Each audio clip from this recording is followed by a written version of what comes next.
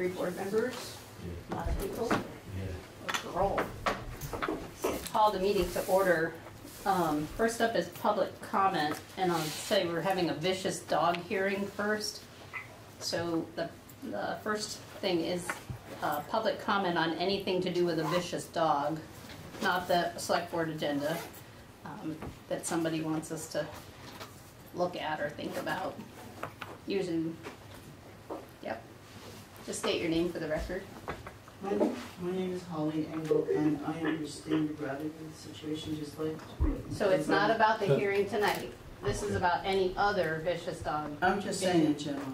Okay, Today, using the equity and inclusion and, and, and standards and best practices and under all those umbrellas that we consider all the parties, even as grave as things are, are, is there a time to figure out a plan or restitution that could be mediated upon, at least for a Hail Mary, in anybody's situation, no matter what, I always would ask that that be held before um, any drastic, what- no matter what drastic decisions get made in life. So, yeah. any other public comment on a vicious dog? Not about the case we're gonna hear tonight, right? Okay, I guess my question is, I'm Melissa Scalera, I'm the tel- town health officer, will you call me? sure. Okay. I I think when we start the hearing, we'll review sort of the order of events real quickly too, so. Okay. All right, approval of the agenda, I move to approve the agenda. I'll second. those in favor? Aye. Opposed, motion carries. So we have a public hearing on a vicious or aggressive dog, public nuisance complaint. Um, I just wanna state for the record that this dog is right across the road from me. Um, and so I have no problem staying so that we have the quorum. Um, but a little bit of a conflict here, not really, I don't really know the dog, but I've seen it. Yeah, there's a Uh-huh. big conflict of interest, because your dog has been on my property several times. He comes over to visit everybody. and I've had to call you before retrieve Max, and I've had to call my own multiple times, and she told me to contact you and deal with it between us. So there's a huge conflict of interest. Where does that leave us in terms of a quorum for conducting the hearing? You need all three Right. um, as a body of five. So what it is, is the potential conflict has been made known. The practice that follows from there would be for you to discuss whether or not it's a conflict that's gonna be material and impact the proceeding. And then you get to make that decision whether or not, as a, as an entity, whether or not any action is warranted. So given that it is not Trini's dog that is the subject of the hearing tonight, that comes to bear on the question of conflict, right? Yeah. It's not her dog, it's- okay. Mine would lap you to death. That's about Well, what you'd get out know of it's it. attacked my chickens multiple times, and they don't go after it. so- That I've heard of, but, I guess the conflict is more or less, uh, you know, the town code, loose dogs multiple times, as mine is being addressed now. So has one of the town select board members. Uh, There are other incidents in the past that directly have impact on this hearing, um, as neighbor to neighbor, that we won't discuss today, but I just wanna move forward with my dog getting my dog the necessary treatments, uh, getting fines taken care of, vaccinations, uh, security for my dog. Just move forward. Isla? I'd just like to state for the record, um, while Mr. Skrill has stated that he's called me, um, about Trini's dog, I have not received a complaint about Trini's dog.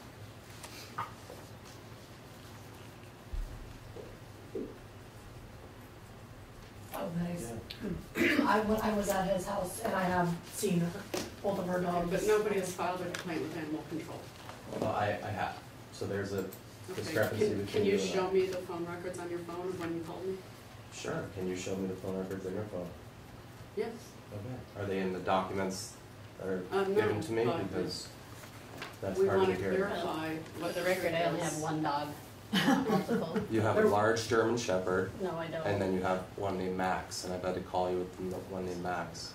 I don't have a large German Shepherd. There Shepherd. was large German Shepherd on, on your, on your property this last week. If it was, it wasn't mine. So, just in terms of how to move off of center here, so the choices are, if you- if you're comfortable with the knowledge of it, you can proceed with the hearing, we'll walk through all of the stuff. And then if the dog owner thinks that it's material input, that could be the grounds for an appeal of whatever decision you render, assuming you reach one. So that's path one. If you feel strongly enough about the conflict, we would have to, we opened, reopened the hearing that we opened in June and recessed out of concerns for due process, to make sure everybody could participate. So That's why we're here again in August. We would essentially recess it again until there were a quorum of the board from that. You can't proceed with two, so it's basically a comfort level with where you're at. And that you can, if there's a, some sort of disagreement of that decision, that could become the basis of which somebody challenges it. If not, then you're Um, basically just opening and closing, because there's I've no other workaround for the two, three thing. As I've stated in previous, and this is tangential to my serving on the select board, but as I've stated in previous um, vicious dog uh, animal hearings, I have, I'm retired now, but I've had professional experience as a Humane Society executive director. And so I know some of the issues here. I know all the issues here very well from my professional experience. And I would prefer that we stay focused on the issue at hand and not introduce any tangential issues into it unless we render a decision and under appeal, those tangential issues are ruled, just as you said, to have been substantive in terms of an impact on, because we, we have, we have a, a situation at hand here that needs to be dealt with. And whatever tangential issues there are, we can deal, deal with later. Hmm. That's how I feel. I, I agree with you, both of you, what you're saying, and, uh, just to be clear, you know, a vote by a party towards my dog and me is affected by a person involved in the situation, Mm-hmm. just, just the bottom line of that. Yeah, yeah. Um, and I just received notification of this hearing on Monday. Because the certified mail was not being delivered while I was at home, so I just found out about this hearing Monday. I've requested the body cam footage from the, uh, officer on duty, because there's discrepancies in all of the, uh, writings, and I think maybe moving it to next month or whenever, sooner or later, it would give me a chance to get everything that needed to be done from the vaccinations, medical treatments, uh, larger fence. Um, The dog is very old. My daughter desperately wants him back. So Dean, are you implying that my dog was in any how, way, shape, or form involved in the actual attacks on people? That's the hearing for tonight? I'm tonight? not talking about any attacks, I'm talking about a conflict of interest as No, I'm a asking human. you a question though. Are you saying that my dog, which I have Max, had any involvement in the attacks that are part of tonight's discussion? Who knows? I, I, I can't tell you. I, I'm talking about my dog and what's going on. So that's where the conflict would be. If Max was out there buddying along with yours and attacked No, I the was, people on bike or whatever, that's where the conflict would be. That's what I'm trying to get to. I'm, What, I mean, I mean- was your dog attacked by the dog that is alleged in tonight's incident? was my dog attacked? Yeah. Or were you attacked? No, his dog attacked two. Their dog has been attacking my chickens, But, but Are- no, that's, that's, I, I'm not trying to stray here. Right. just- Are, are you the owner of the dog who was under the, There's still a few, I'm sorry, I'm talking separately. We're having audio issues, it seems. And uh, the notes just to screen it is to fix it. Recording is also. It helps that we know that there's an issue. We're, we are trying to work on it. I don't. Go ahead, Tom, you keep talking, just ignore I'm just trying to understand what your role in tonight's hearing is. Are you the owner of the Yes. dog who is alleged to have been vicious? Yes. Okay. I don't know if they're gonna ask. I think the, the, No, they're on there too. the conversation is whether you guys feel like there's a conflict of interest. If you feel there's a conflict of interest, we need to change the date. If you don't feel like there's a conflict of interest, we need to get started with the hearing. I'm not trying to say I'm not accountable, I am accountable. Right. I just want to move I just was trying to get clarity as to whether you were the alleged victim or the, you know what I'm saying? Yeah, no, I- I, I- I understand, sir. Yeah, I, Dog has been impounded, correct? No. The dog has been impounded, correct? Uh, that's what I've been told. Yes. Um, Yes. I've tried to get, uh, the- the allowance to go get the vaccinations done, but I've been told by, uh, some members of the town board or whoever's in the town office and Milo that I'm not allowed to get the vaccinations or registration done until after tonight's hearings. So that would then be delayed as well. Yeah, I just wanna get, I wanna do what you guys need me to do to get my dog up to date. It's A few months behind the vaccination for rabies. I've had it every year since. Uh, he's a rescue dog of eight years with me, from thirteen years old. He doesn't have much time left. I don't see it as a conflict of interest because Trini's dog was not involved. Well, it's not about our dog, it's, And Trini wasn't personally involved, she was not attacked. Um, and so, I mean, the option is if we do decide to postpone it, then your dog is definitely not coming back home tonight, um, you know, so, let's just continue because. it's gonna delay it a month right. I- I- if we postpone it. I want my dog.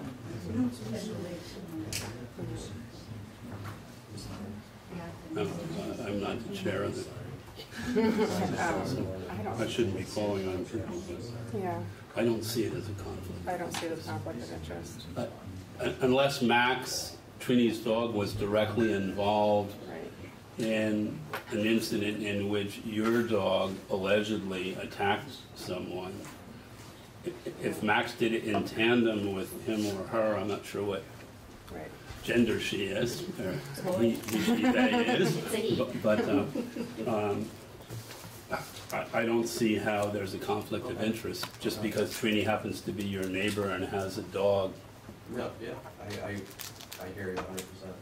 Um, if you were, I was told to bring this up, so. right, if, if, but if your objective is to, and Trini, I'm sorry to just, Go ahead. you Yeah. know, you're, you're the chair, so you should just shut me down if you wish, but, um, uh, if your objective is to get your dog back as soon as possible, and we judge in your favor tonight, then you're gonna be better served by that than waiting a month Yes, over that's- some, you know, questionable conflict of interest. Yes. Um, more like just personal tension. It seems like it's more personal Yeah, tension than yeah, actual yes. conflict. Yeah, So, So that's, so I, I would, yeah, I, I would say we should proceed if you're all in agreement.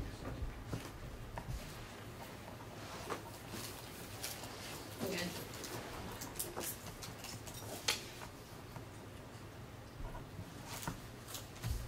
So Um, maybe just no, no. before we start, we've been having some issues that have been reported with the connections there. We've checked the internet speeds, they seem to be fine on that end.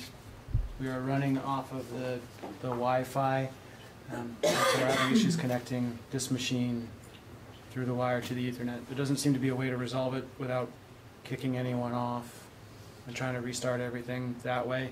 It could also be an issue with the provider that's outside of our influence. So we're aware of it. ORCA's here. This is being recorded, being recorded on the Zoom in the room. So we are hitting those markers, and we hope that some of these issues have stabilized or resolved themselves. So we are we are trying within the limits of, of what we're able to do in the moment.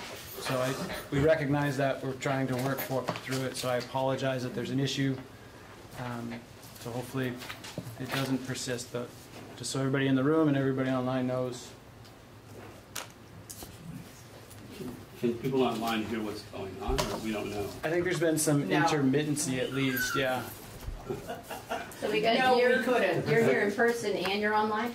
Well, I was online, but you couldn't hear. You could hear one in every maybe five, ten words. So you stayed online and drove up? Well, I didn't want to miss the excitement. So I just, little Hung PSA, up, but- yeah. Are, are, wow, this is a complicated one.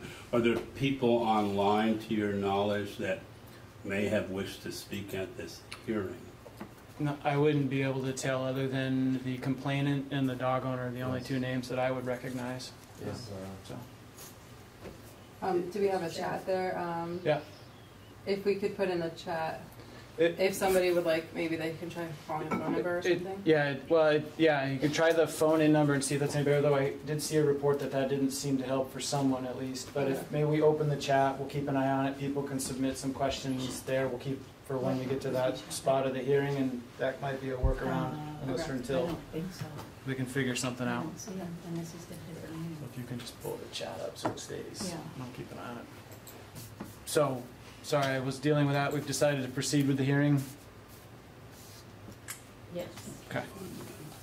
Um, So the basic rules, we've done, these are the exact same ones you've done for at least two other hearings in the last year or so to year and a half. Um, What you have in front of you are those guidelines for- for procedure. I'll run through them just very quickly so you have them again and then everyone can hear them. I've already called the hearing to order. We'll go through a summary of what the purpose of the hearing is. I will provide that in very broad strokes for you, just sort of frame what the issue is. And then at that point, you will drive from there. Um, The general order we've had for these things is first you'd hear from the animal control officer, then you'd have the town health officer, then we usually hear from the complainant, and then we let the dog owner have it. And at that point, you open it up for others who have commentary to participate. Usually in between each of those people who speaks, there's a time for the board to ask questions to whomever they're talking to. We don't open that piece up to the full courtroom, say, that's you as the, um, the adjudicating body at this piece. And then at the end is where there's a little more of a public piece to it. At the end of that, what you have the option to do, you have two options. You can deliberate in open session, which is where we are right now, or you can adjourn briefly to a deliberative session. I think given everybody in the room, everybody online, what we would do, um, okay, that's good. Um, what we will do is maybe just, because there's four of us essentially, run upstairs into my office, and then whatever you do for a decision, you would then come back after you're out of deliberative session and announce here, and then that goes in writing within a set, as soon as possible. Um, Statute doesn't prescribe that piece of the timeline, though it prescribes some other pieces of that, but we generally try to do that inside of the first, say, ten days from the hearing, or less if possible. So that's the basic outline of the process. That's the one we've used for both the Weaver and the King hearings that we've had um, in, in, within the last 14 months or so. So this one goes back to um, an alleged incident in May. You have the information in your packets. This is the same information from June, um, where a cyclist, I believe, was riding by the property at which the dog resides. Um, Dog is alleged to have gone after the cyclist, bitten, may have knocked her off her bike, um, caused some injuries that required medical attention. Complaint was filed. That's the thing that kicks off your process, um, per both the ordinance and statute. Um, And it was investigated by, there was a state trooper response. You have that report in your packet. And then both the health officer and the animal control have been involved at different points. There have been other things that have happened since then, such as the impoundment, which you could ask Milo about, um, which goes to a running at large situation after. When you had opened the June hearing and then closed it, you'd followed it up with a motion to essentially say that the dog had to be kept on the property of the owner at all times. So when it was found off the property owner on a neighboring porch, that was one of the factors that led to that impoundment. Others can cover that in more detail and answer any questions about it. So that is the broad summary of what is in front of you tonight. We'll start with, um, having Milo present what you know about the case. Um, so I happened to hear about the incident because I happened to be at the Randolph PD when the call came in. Um, and I talked to Trooper Flores and he sent me his report and whatnot. Um, I could not get a hold of Mr. Skrill. I contacted our health officer, Melissa Scalera. Um, the two of us did go out to the house to contact Mr. Skrill, he was not there, um, the dog was inside at the time. Um, and also spoke with Pam Fitzgerald, the victim. Um, and, um, during all of this, I learned that the dog had bitten two other cyclists previously. Um, that I did not know about, but had found that the dog had gotten loose and done that. Um, Ms. Fitzgerald can speak to her injuries, but my understanding and from the trooper's report was that the dog was tied out to an RV in the front yard and that it got loose um, went after her, knocked her off her bike and had bit her. And then somebody, I believe, the owner's mother came by and got the dog and put it inside. Um, One of the concerns I had when I saw the report from the trooper was that day it was ninety degrees out. I did not see water anywhere. The only shelter the dog had was to shimmy underneath the RV for shade. Um, so I called, uh, our game warden, Ella Klein, um, out of concern about a potential cruelty case.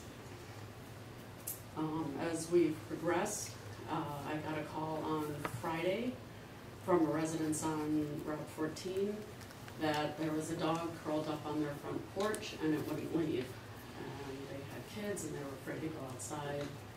So I went down and um, picked up the dog. It had an old tag from 2019, which was registered um, under Mr. Skrill's ex-wife's name. Um, so I knew whose dog it was and knew that it needed to be held.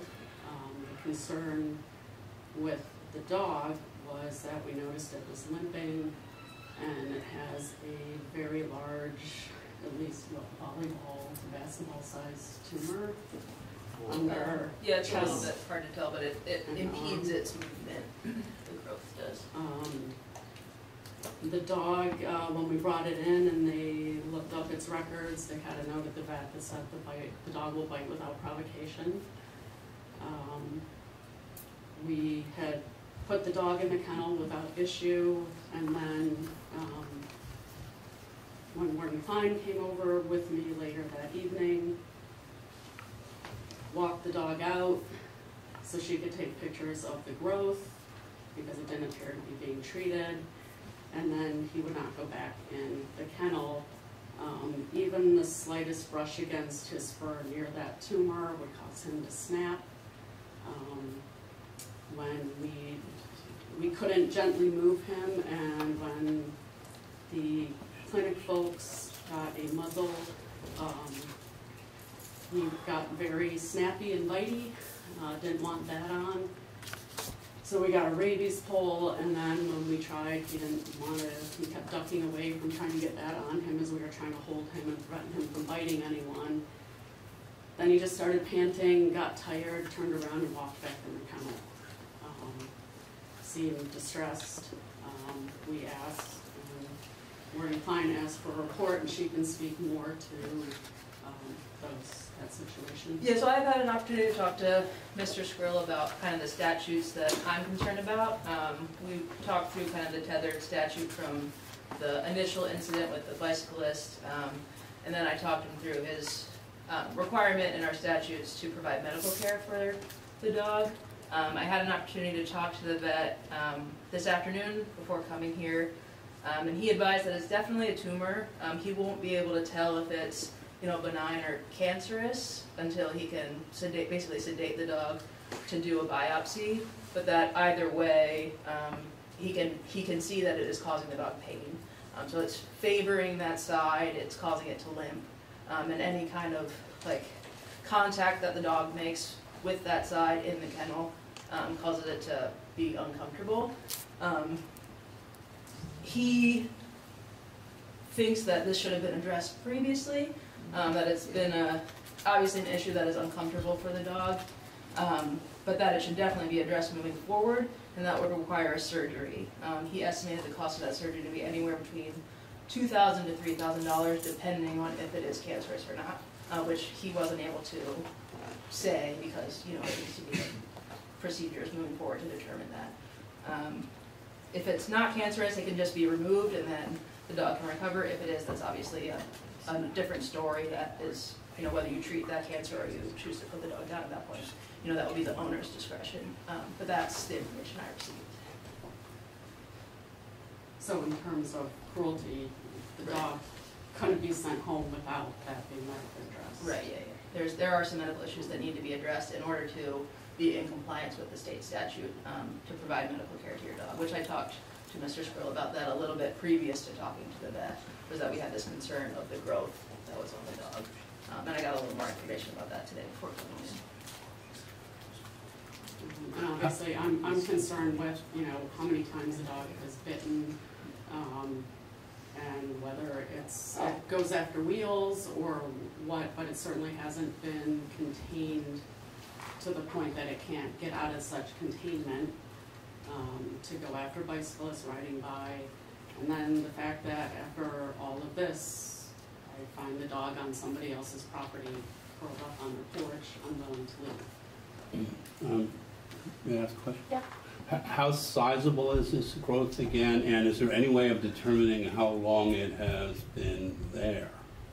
Um, so the, I looked at the photos from the, the incident that I think we're here for, and you can see the growth is of about the same size in those photos.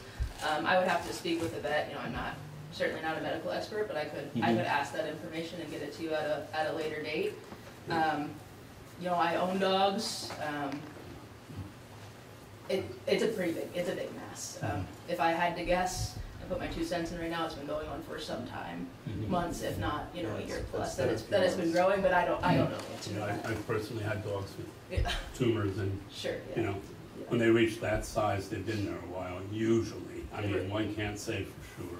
Um, and I did get to see the dog kind of move around, and, and and it is, you can tell it's, you know, it's kind of under its arm, So armpit there. lives right now. Um, so yeah, it it is causing some, you know, lack, like inability to move normally, um, so to speak. Anybody have any further questions I think, before? Mr. Skrill, I think you'll have a chance to speak a little bit later on. Is that correct? Yes. Yep. Yeah, okay, yeah. I don't have any further questions. Questions? Um, And I'm sorry, what's your name? Uh, Bella Klein. Thank you. Um, so next up is Melissa. I'm Melissa Scalera, I'm the town health officer. I was called by Milo and informed of this incident. Um, Milo and I went, I called Pam, I spoke to Pam. The story that I heard from her, although I think she's the best person to speak on that issue if she's going to speak, is that she was riding her bike. Um, a large dog was chained to a camper. Um, the dog slipped its collar, the dog ran after her. She tried to avoid the dog. She went to the opposite side of the street. She fell off her bicycle and severely broke one of her wrists, necess- necessitating going to Gifford Hospital and then to Dartmouth for surgery. Um, my understanding, I, I am not hundred percent sure if she was bitten. I think she could address that faster in medical reports. It seems like maybe she was scratched. But that being said, it does seem like the dog chasing her caused her to fall off her bike and severely break her wrists at the very least. Um, I, we went down and tried to speak to Mr. Skrill. He was not home, the dog was there, um, the dog was inside at the time. The month, one month before that, I had gotten a very similar report. Um, a gentleman named Michel, um, might not be saying his name right, Remillard, um, a native of Montreal, um, was down on a vacation, he was biking with his girlfriend. Um, he was riding past Mr. Skrill's house, the same dog ran out, um, attacked him, and he says bit him and that it still hurts. He went to the hospital as well. He said that he spoke to Mr. Skrill, who was quite nice and sorry, and begged him not to sue, and that he would pay for all the expenses, um, and et cetera, et cetera. Mr. Remillard is very concerned and quite upset. Um, this got me to thinking, because I said, this sounds super familiar to me. And so I pried back into my records, um, and came up with a report from about three or four years ago, and same exact thing, a tourist, this one from Connecticut, I believe, gentleman was riding his bike in front of the house, dog was either untethered or got off his tether and bit that gentleman as well. He was inside the house during that. There's no way. Okay, but Dan, right now, they're doing, you'll have your chance to It's just take a note of what you wanna. information, so. Yeah. Take a note The so you don't gentleman forget said that he was very surprised, um, it was several years ago, but the gentleman said to me that he was very surprised, um, because he seemed to think that Mr. Skrill blamed him for the night somehow. Um, so I know that three people have gone to Gifford and one has been transferred out as a result of aggressive actions, um, with this dog. I can't speak to whether or not this dog just changed, is vicious to everybody. There's a, a child in the house who apparently loves the dog, so that speaks well for the dog. But, um, I will say that he's sent three people to the hospital and he definitely doesn't like people riding by on bicycles. Any questions for Melissa?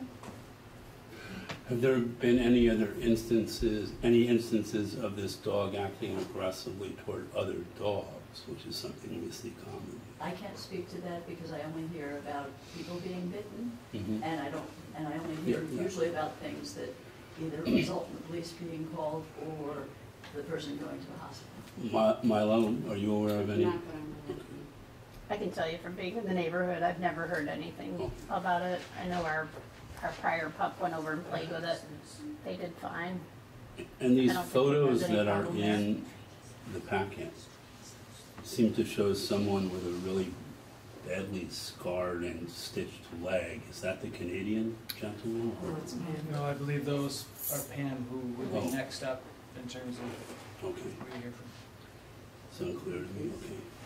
Is there any other questions from the board for Melissa? Not on in there. Any more questions for Melissa? If not, we'll move on to Pam. How to stand up? It's up to you. So my name is Pam Fitzgerald, I live in East Randolph. On May thirtieth, I was riding my bike, um, north on Route fourteen. Um, I went by what I now know is Mr. Skrill's house. There was a dog chained, I guess, chained or tied up to a camper. It was a hot day, it was sunny, it was probably in the mid-eighties. Um, he was barking and barking and pulling on his chain, and so I tried to move to the other side of the road and speed up, but he managed to get free and he came at me. What I remember, because it was very traumatic, and as soon as I saw him coming for me, I was kicking and screaming. And he managed to come around the back of me and must have jumped on me because I have a hole in my shirt and a, I was wearing a neon vest. The vest was ripped in the back. Unfortunately, we threw it away in the hospital, but I still have the shirt with a hole in it. And then he must have scraped my leg, and I, I, you know, was kicking. I couldn't stay upright, and I managed to fall over and landed on my right side. I could see right away that I had fractured my wrist. Um, the dog definitely growled before it jumped on me, but once I was on the ground, I, it was there for a few minutes. It didn't try to bite me at that point, but I was screaming so loudly just for somebody to come and help me.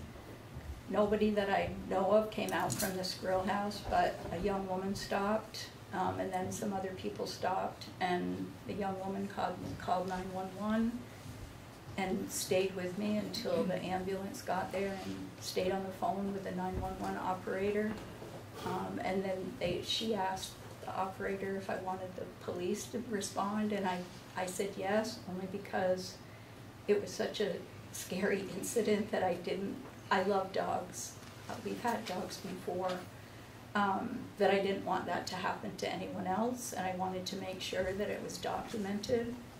And so the state police responded and the ambulance came eventually and, um, I don't know where the dog went after that. I think maybe the people that stopped helped corral him.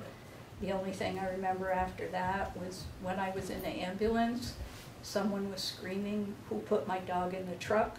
Who put my dog in the truck? And that's, you know, several months later, I was on my way to Gifford, so, um, I was treated initially at Gifford, where they, um, tried to reduce it and set it. But because I guess they don't have an orthopedic on staff that does hand injuries, they were communicating with Dartmouth. So they thought they could, um, set it again at Dartmouth and do a better job. So they sent me to Dartmouth about ten o'clock that night, where they reset my hand again. And then a few days later, I saw the orthopedic surgeon who thought that I would be better off with surgery because I'm active. I ride bikes, I swim, I kayak, we run. Um, so he suggested surgery to stabilize my wrist. So the next day I underwent, um, surgery. Um, so I fractured both bones in my wrist. And so now I have a metal plate. I've just been out of a cast for three weeks and having, um, therapy twice a week, um, until mid-September when I go back to see the doctor again. Um, like I said, I love dogs, but, um, it was an awful incident, it was scary, and I'd hate to see dogs chained up anywhere or caged anywhere. Um,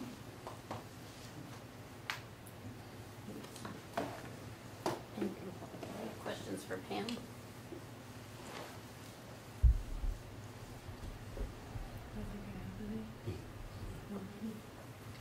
Okay, Daniel, this is your turn to tell us what happened or answer anything or make any I'm- statements. I'm deeply sorry. I really am. When I returned to my house, I tried to make sure you were okay, but they would not let me talk to you or see you. I'm truly so sorry. Um, Um, there's really not much I can say. Um, it makes every, ev- everything that's being said makes my dog sound to be a, you know, an ultimately vicious dog, and um, he's really not. Um, he's a protected dog. I rescued him. He was in an abusive house. Um,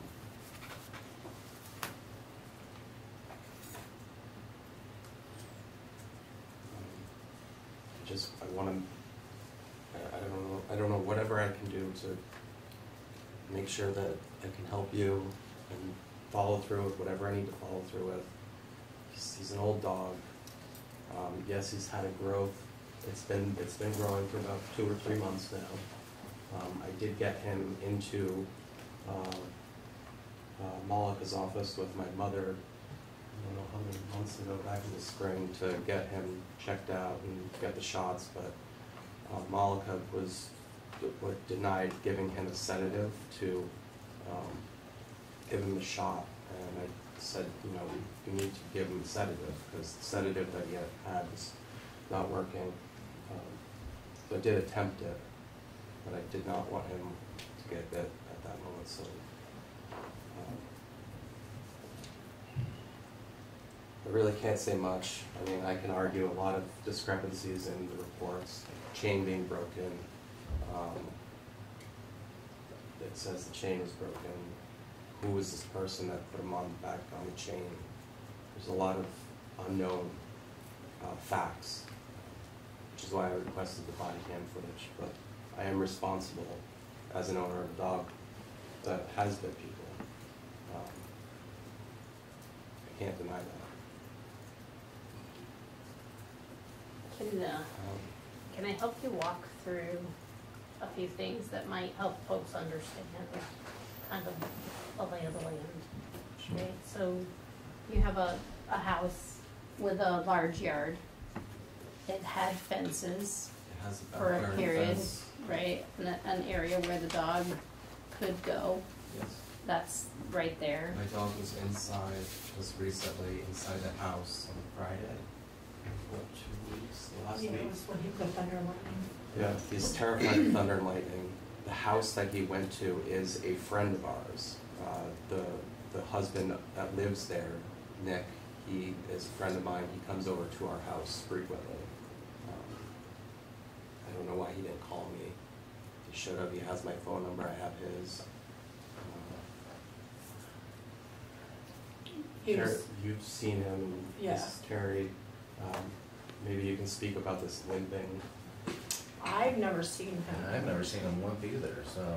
He may have gotten Can injured. people identify themselves, Mr. Yeah, Leon? I'm Terrence Siciliano. I've known this dog the whole time this Dan has had him. So, um, he's been an awesome dog, super friendly. I don't know why he's chasing bikes. He always chases bikes. But the growth, I just saw him four weeks ago. I didn't see any growth. And if it's under his armpit, like you guys say, that's easily missable. Nobody rubs their dog's armpit. So, But he, he may have gotten injured jumping like- over the fence. It's a five foot tall, five and a half foot tall fence. Yeah. My neighbors, I can't say if they have or have not been, but, uh, there's some matted down area on the opposite side of my fence that's next to our house, and it looks like somebody had peeled down the fence. Um, I have no way to prove any of that, but that's the other for thing. him to jump over a five foot fence with an injury that is making him limp, um, I'm not trying to take away any sort of accountability here, but, um, I've, I've not been cruel to my animal. There was a water bowl under the camper. The camper has plenty of space, he likes to go underneath it, I was gone for forty-five minutes. Um, I've been to Dan's house many times around the dog, and he's always been such a sweetheart. And I've had my children over. He's such a sweet dog. He's therapeutic. I've been there alone and crying. He is like was comforting me. He's very empathetic. Um, and I was at the house the Friday that he, the door, the back door was open because he's a tall dog, and he opened the door. and He must have jumped the fence because I went. I was the one who called to to try to look for him. I went to the neighbor's house because I saw it on the post and he was, I saw the picture and he was on the step and he was, he does not like thunder and lightning, so he's very scared. I've seen him many times with thunder and lightning and Dan will put a thunder vest on for comfort, um, because he's very sensitive, but he's a very sweet dog. And that doesn't take away anything from, you know, obviously from biting and stuff, but I, I've never, ever been scared of him, ever.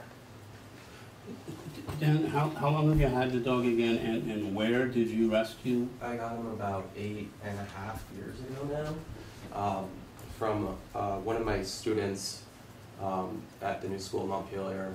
Uh, I work with nonverbal autistic kids, and, um, I got him from the house of one of my students. Um, and he's been a therapy dog for all the clients that I've had now for the past twelve years that have uh, cognitive disabilities and um, never once has there been an incident with him. He's a very supportive, caring, and nurturing dog. Ha- Has he been through the Vermont therapy dog, like, No, process? no, no. I think if you were in a room with him and you started crying, you would see right away that he is a um, very unique dog. Yeah, he's very, very smart. I've recently taken in uh, two kids and their, their father who've been displaced from the flooding. Um, and uh, they love the dog. The dog was, has been great with them. Uh, But, but he hasn't, he, he wasn't trained to like visit pediatric wards No, or no, senior no, citizens or prisons or mental hospitals, psychiatric units or anything. no, So, okay. When everybody's done, I'd like I, I can clarify a couple of points that I think there was some questions about. Um, Holly Engler, um, called me this afternoon and she did inform me that she was the one that corralled the dog after Pam was attacked.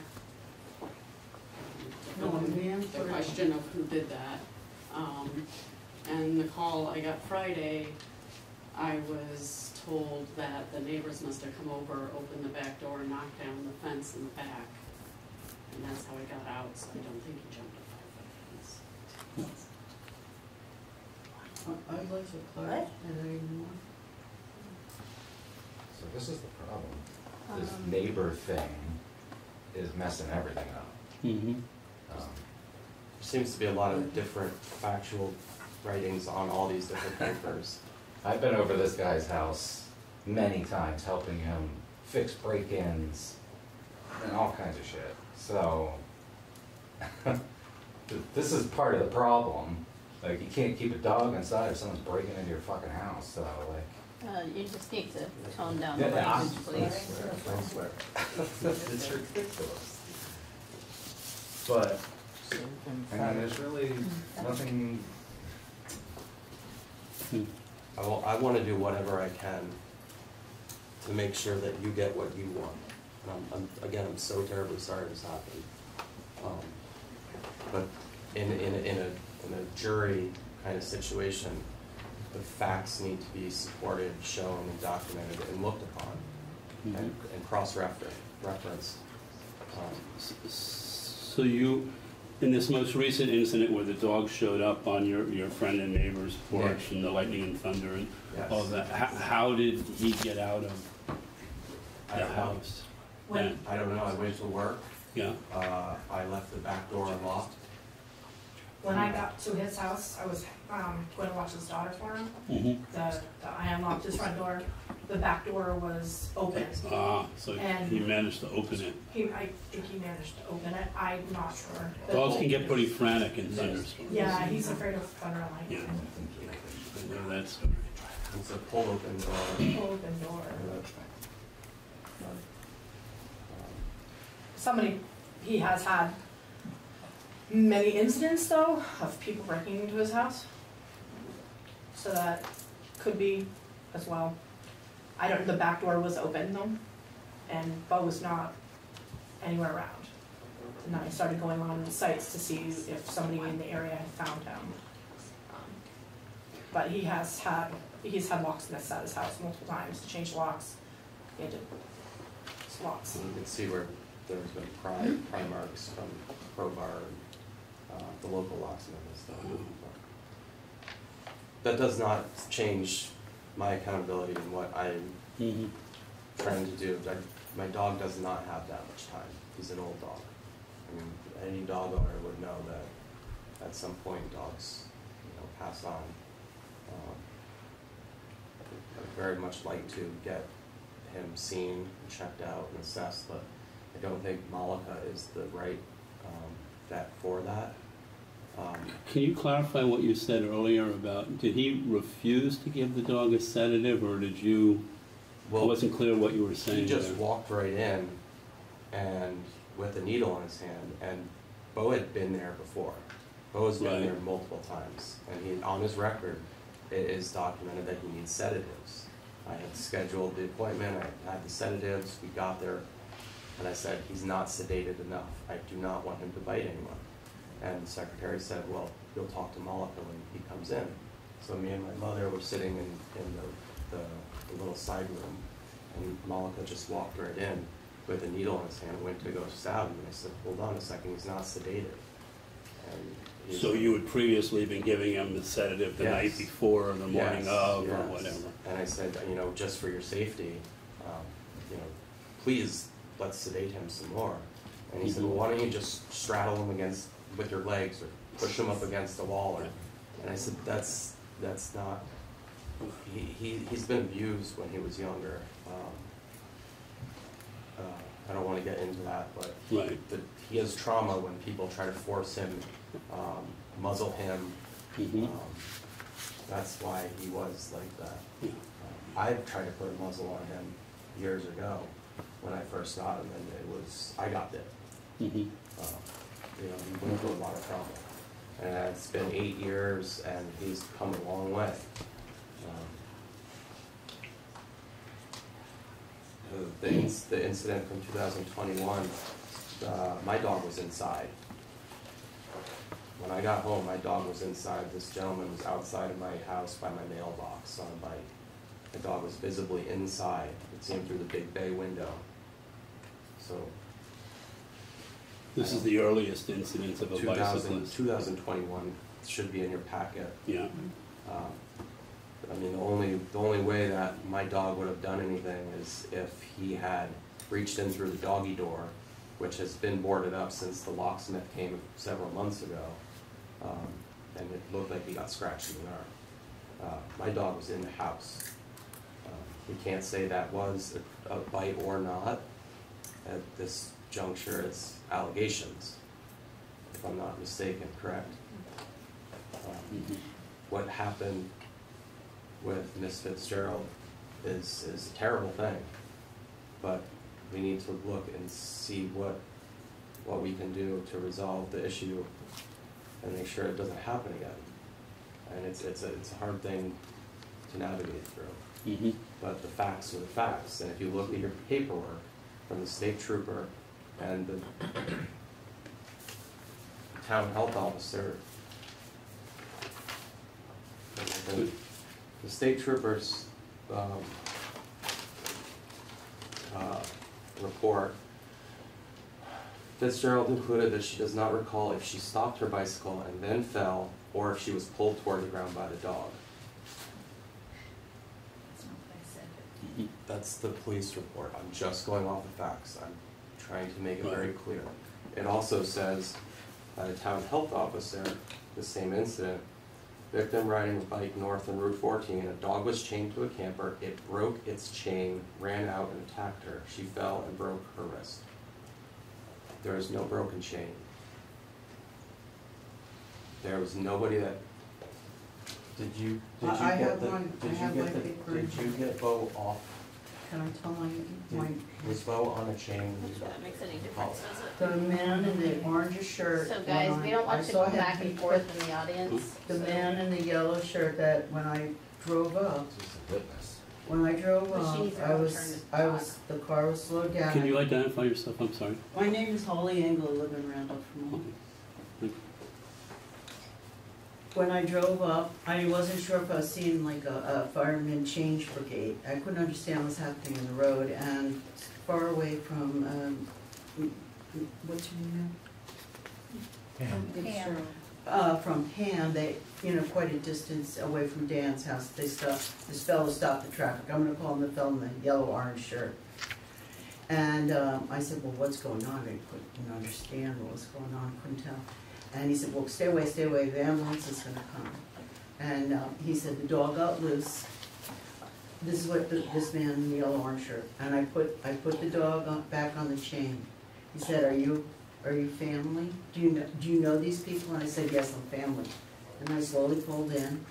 Then I, I checked the, um, car, the house, just, I didn't have a key anymore, but I checked to see, apparently my view was open, I don't know, it wasn't open to me.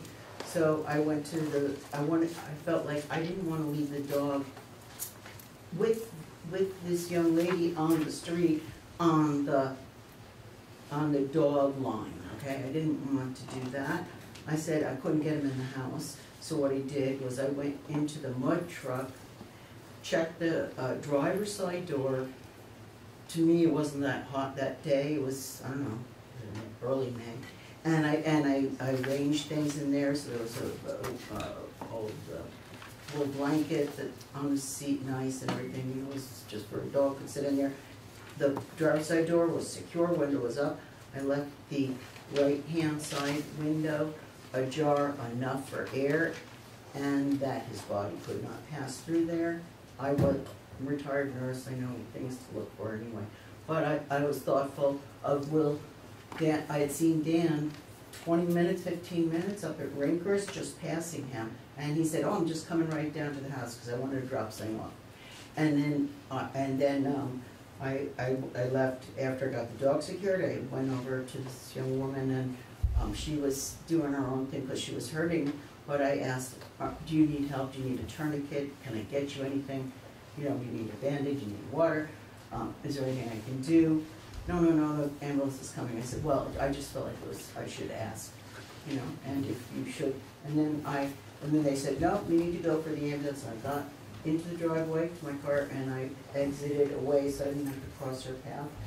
And then I called Dan and apparently I had come right back, but by the time I came back around, the ambulance had already been going and I don't know the in-between. And I have photographs and videos of the dog Bo and Rose and myself.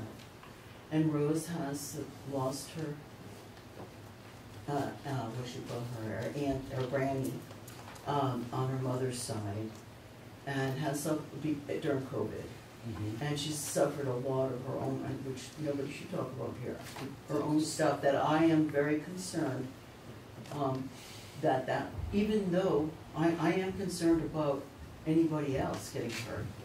Also, there's been studies recently put out about how small events that happen in a young child's uh, loss or whatever can actually amount to a, more of a problem with post-traumatic stress later on.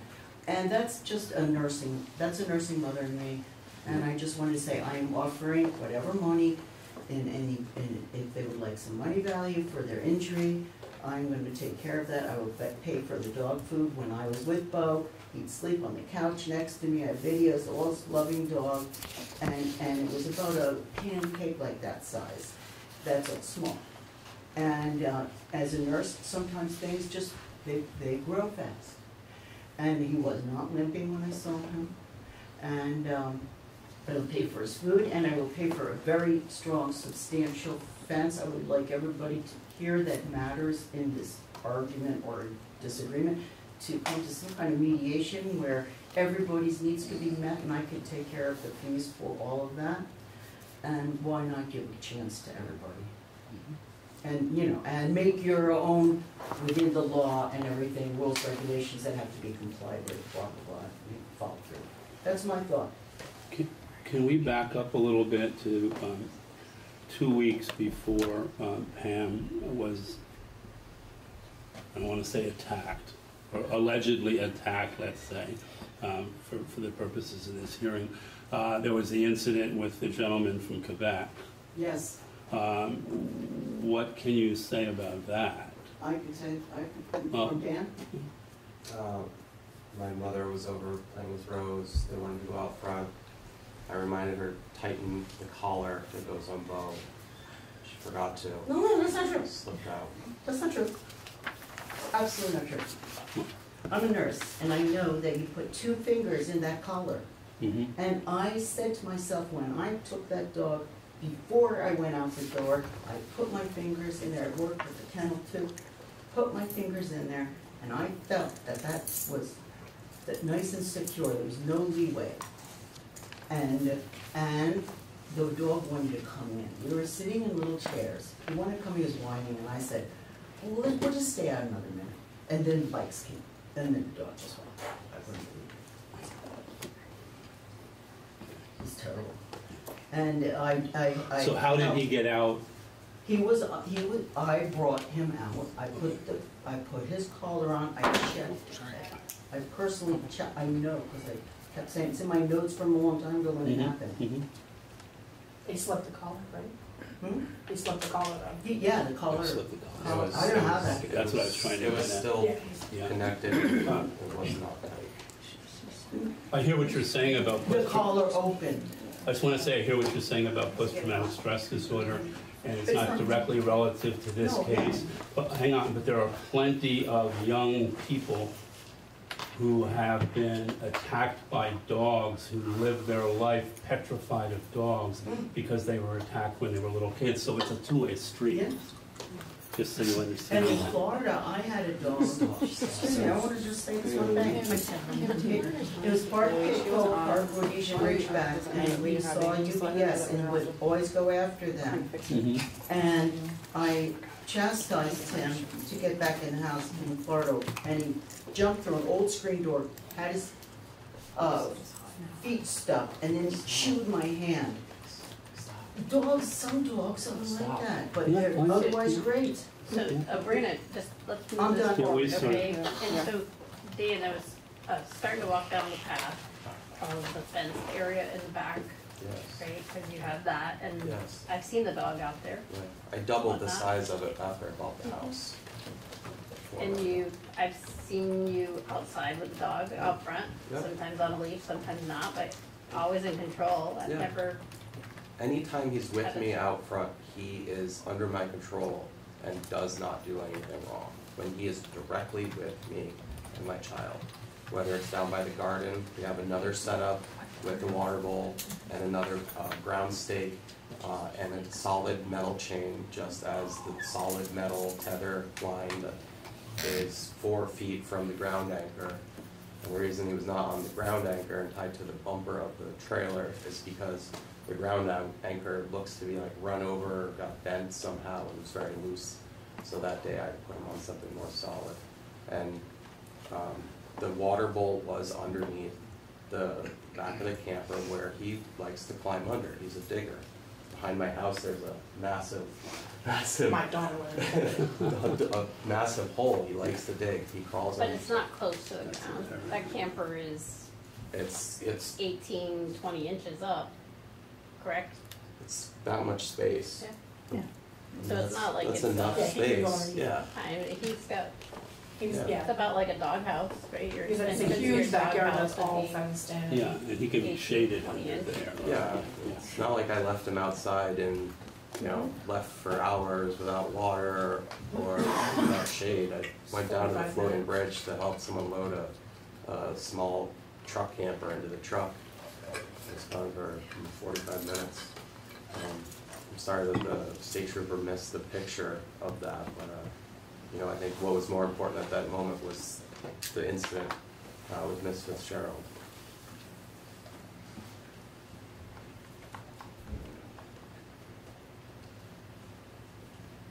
Any further questions? I, I don't. I'm good. Anymore. Anybody in the audience have anything they'd like to add or any questions?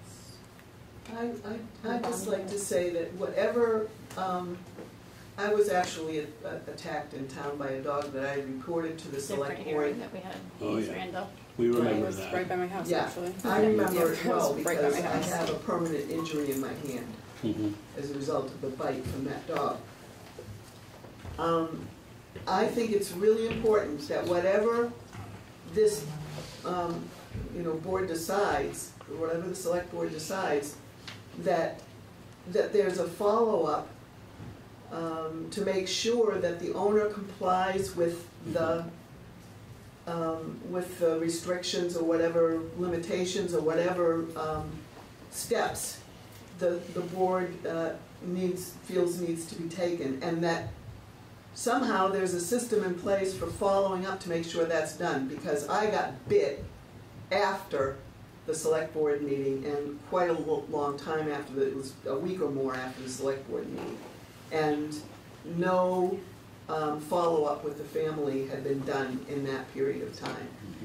So, you know, I think it's very good that the select board, you know, looks at that, looks at, looks at it and acts on it, but it's important that there be follow-up and that the select board is monitoring that the follow-up is being done.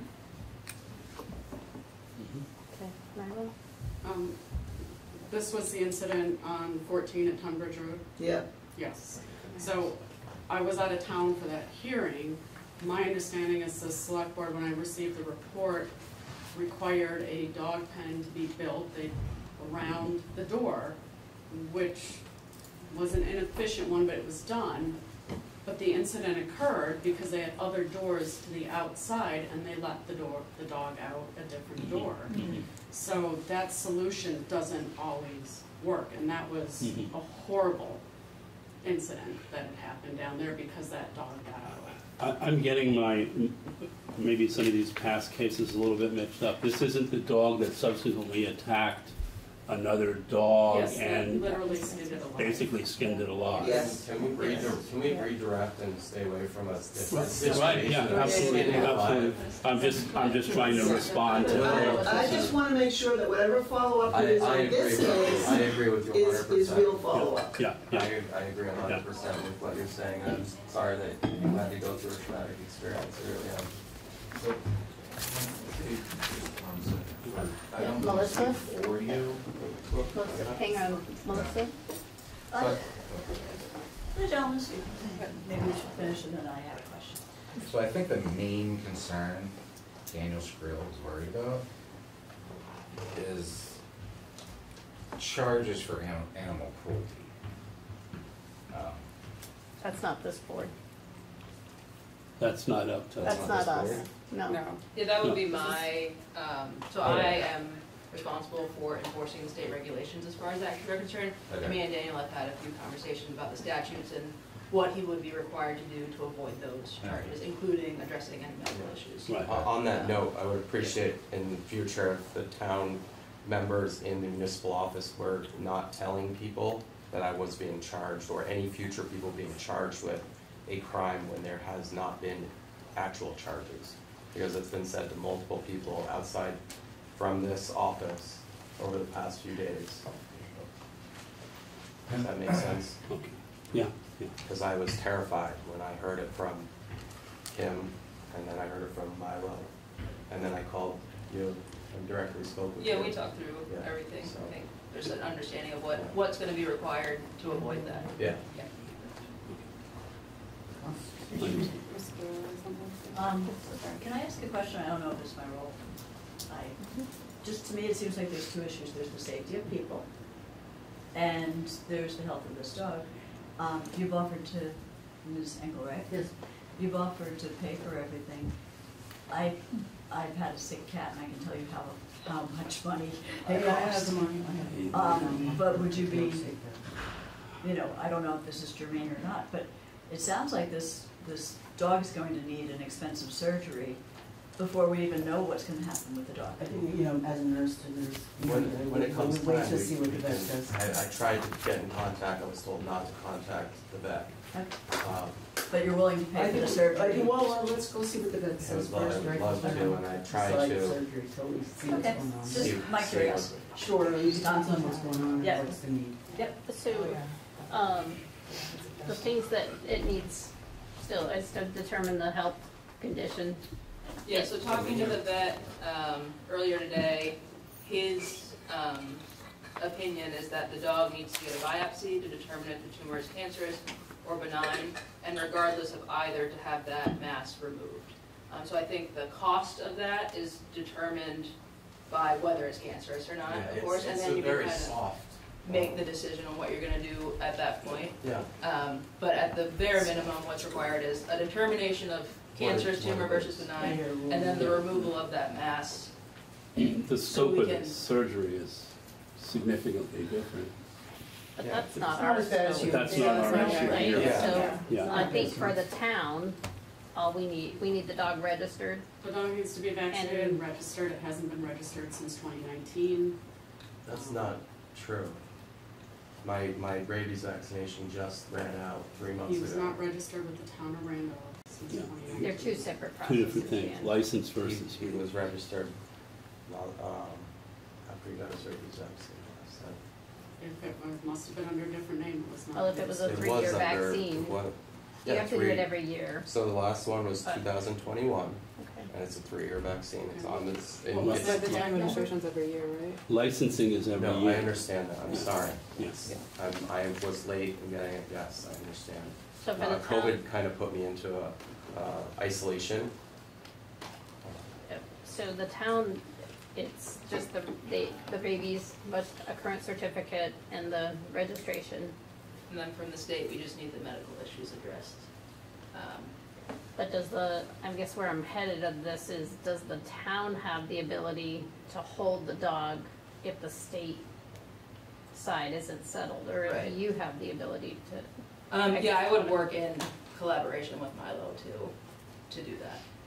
Um, So in this case, the state supersedes the town, right? Well, not necessarily. I'm wondering that, what I'm trying to figure out here is I don't want to have Daniel leave here thinking if he gets his rabies and his registration, he can get the dog tomorrow. If the state's then going to say, no, right, we gotta need- hold it We need to longer. address the medical issues, which I've, I've talked, chatted Yeah. with Dan about that. Yes. But we would also need to be addressing the medical issues and to get that procedure done in order for the dog to be released and to avoid any, you know, talking about animal cruelty charges. I know you don't want that, you know, put out, but that's what we're Yeah, talking no, I about. understand. Who's holding the dog at that time though? Right, Right. the, Yeah, does who- the who- Who town, does have my dog? well, Is the- it, does the town release, so if we come up with a solution tonight, that it's got the fenced area, it gets its vaccinations, So it it gets sounds like the three of registered. us need to have a conversation about financial responsibility and who's gonna pay for this procedure, right? Um, so if that's gonna happen succinctly, um, and the dog is in, in medical care right now with the vet, if you're ready to start that procedure, we can just, it can kind of just be continuous, but I understand it's kind of two pillars that we're talking about. Yeah. I tried to start that Well, process is the it other a day, town? right before I spoke with you, and I was told not to Yeah, contact we get or that. go Ian. to the vet. Just, Yeah, let, yeah. let me sort this out, because I don't know that the town can hold the dog if it's a, s- if it's the state issue. If we address the town issue, I want, I just am trying to figure out who legally. It sounds I'd like like to interject. So the it's, the town- Can you hang- just hang hold on. on? The board is having a conversation right now. Thank So, you. Right now, the town has technically, I think, impounded the dog for violation of the order issued in June. So if the town issues are addressed, but the dog still needs to remain impounded, Then does the- that yeah, transfer the- to the state at that point in Correct. terms of? And then we would kind of take over from there and we would see our process. Okay. I don't mean to interject in the wrong way, I'm sorry.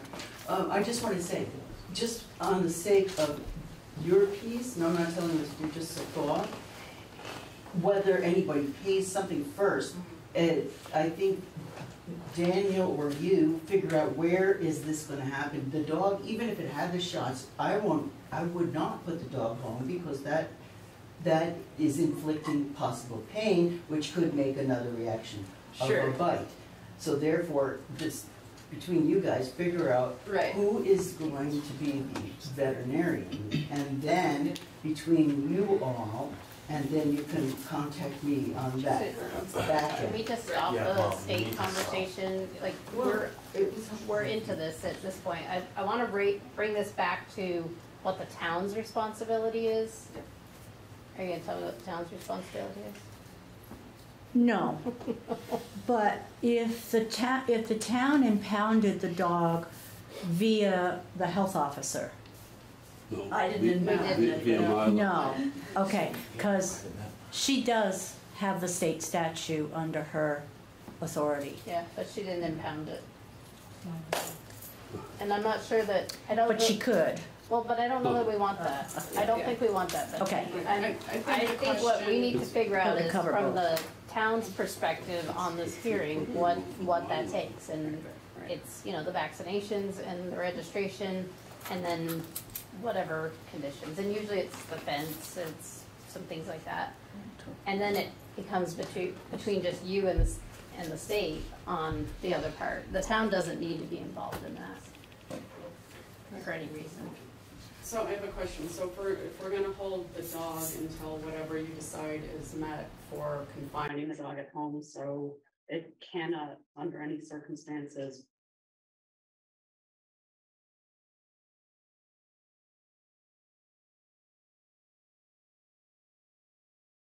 and he'd be impounded at the owner's expense until all those were met, but before maybe that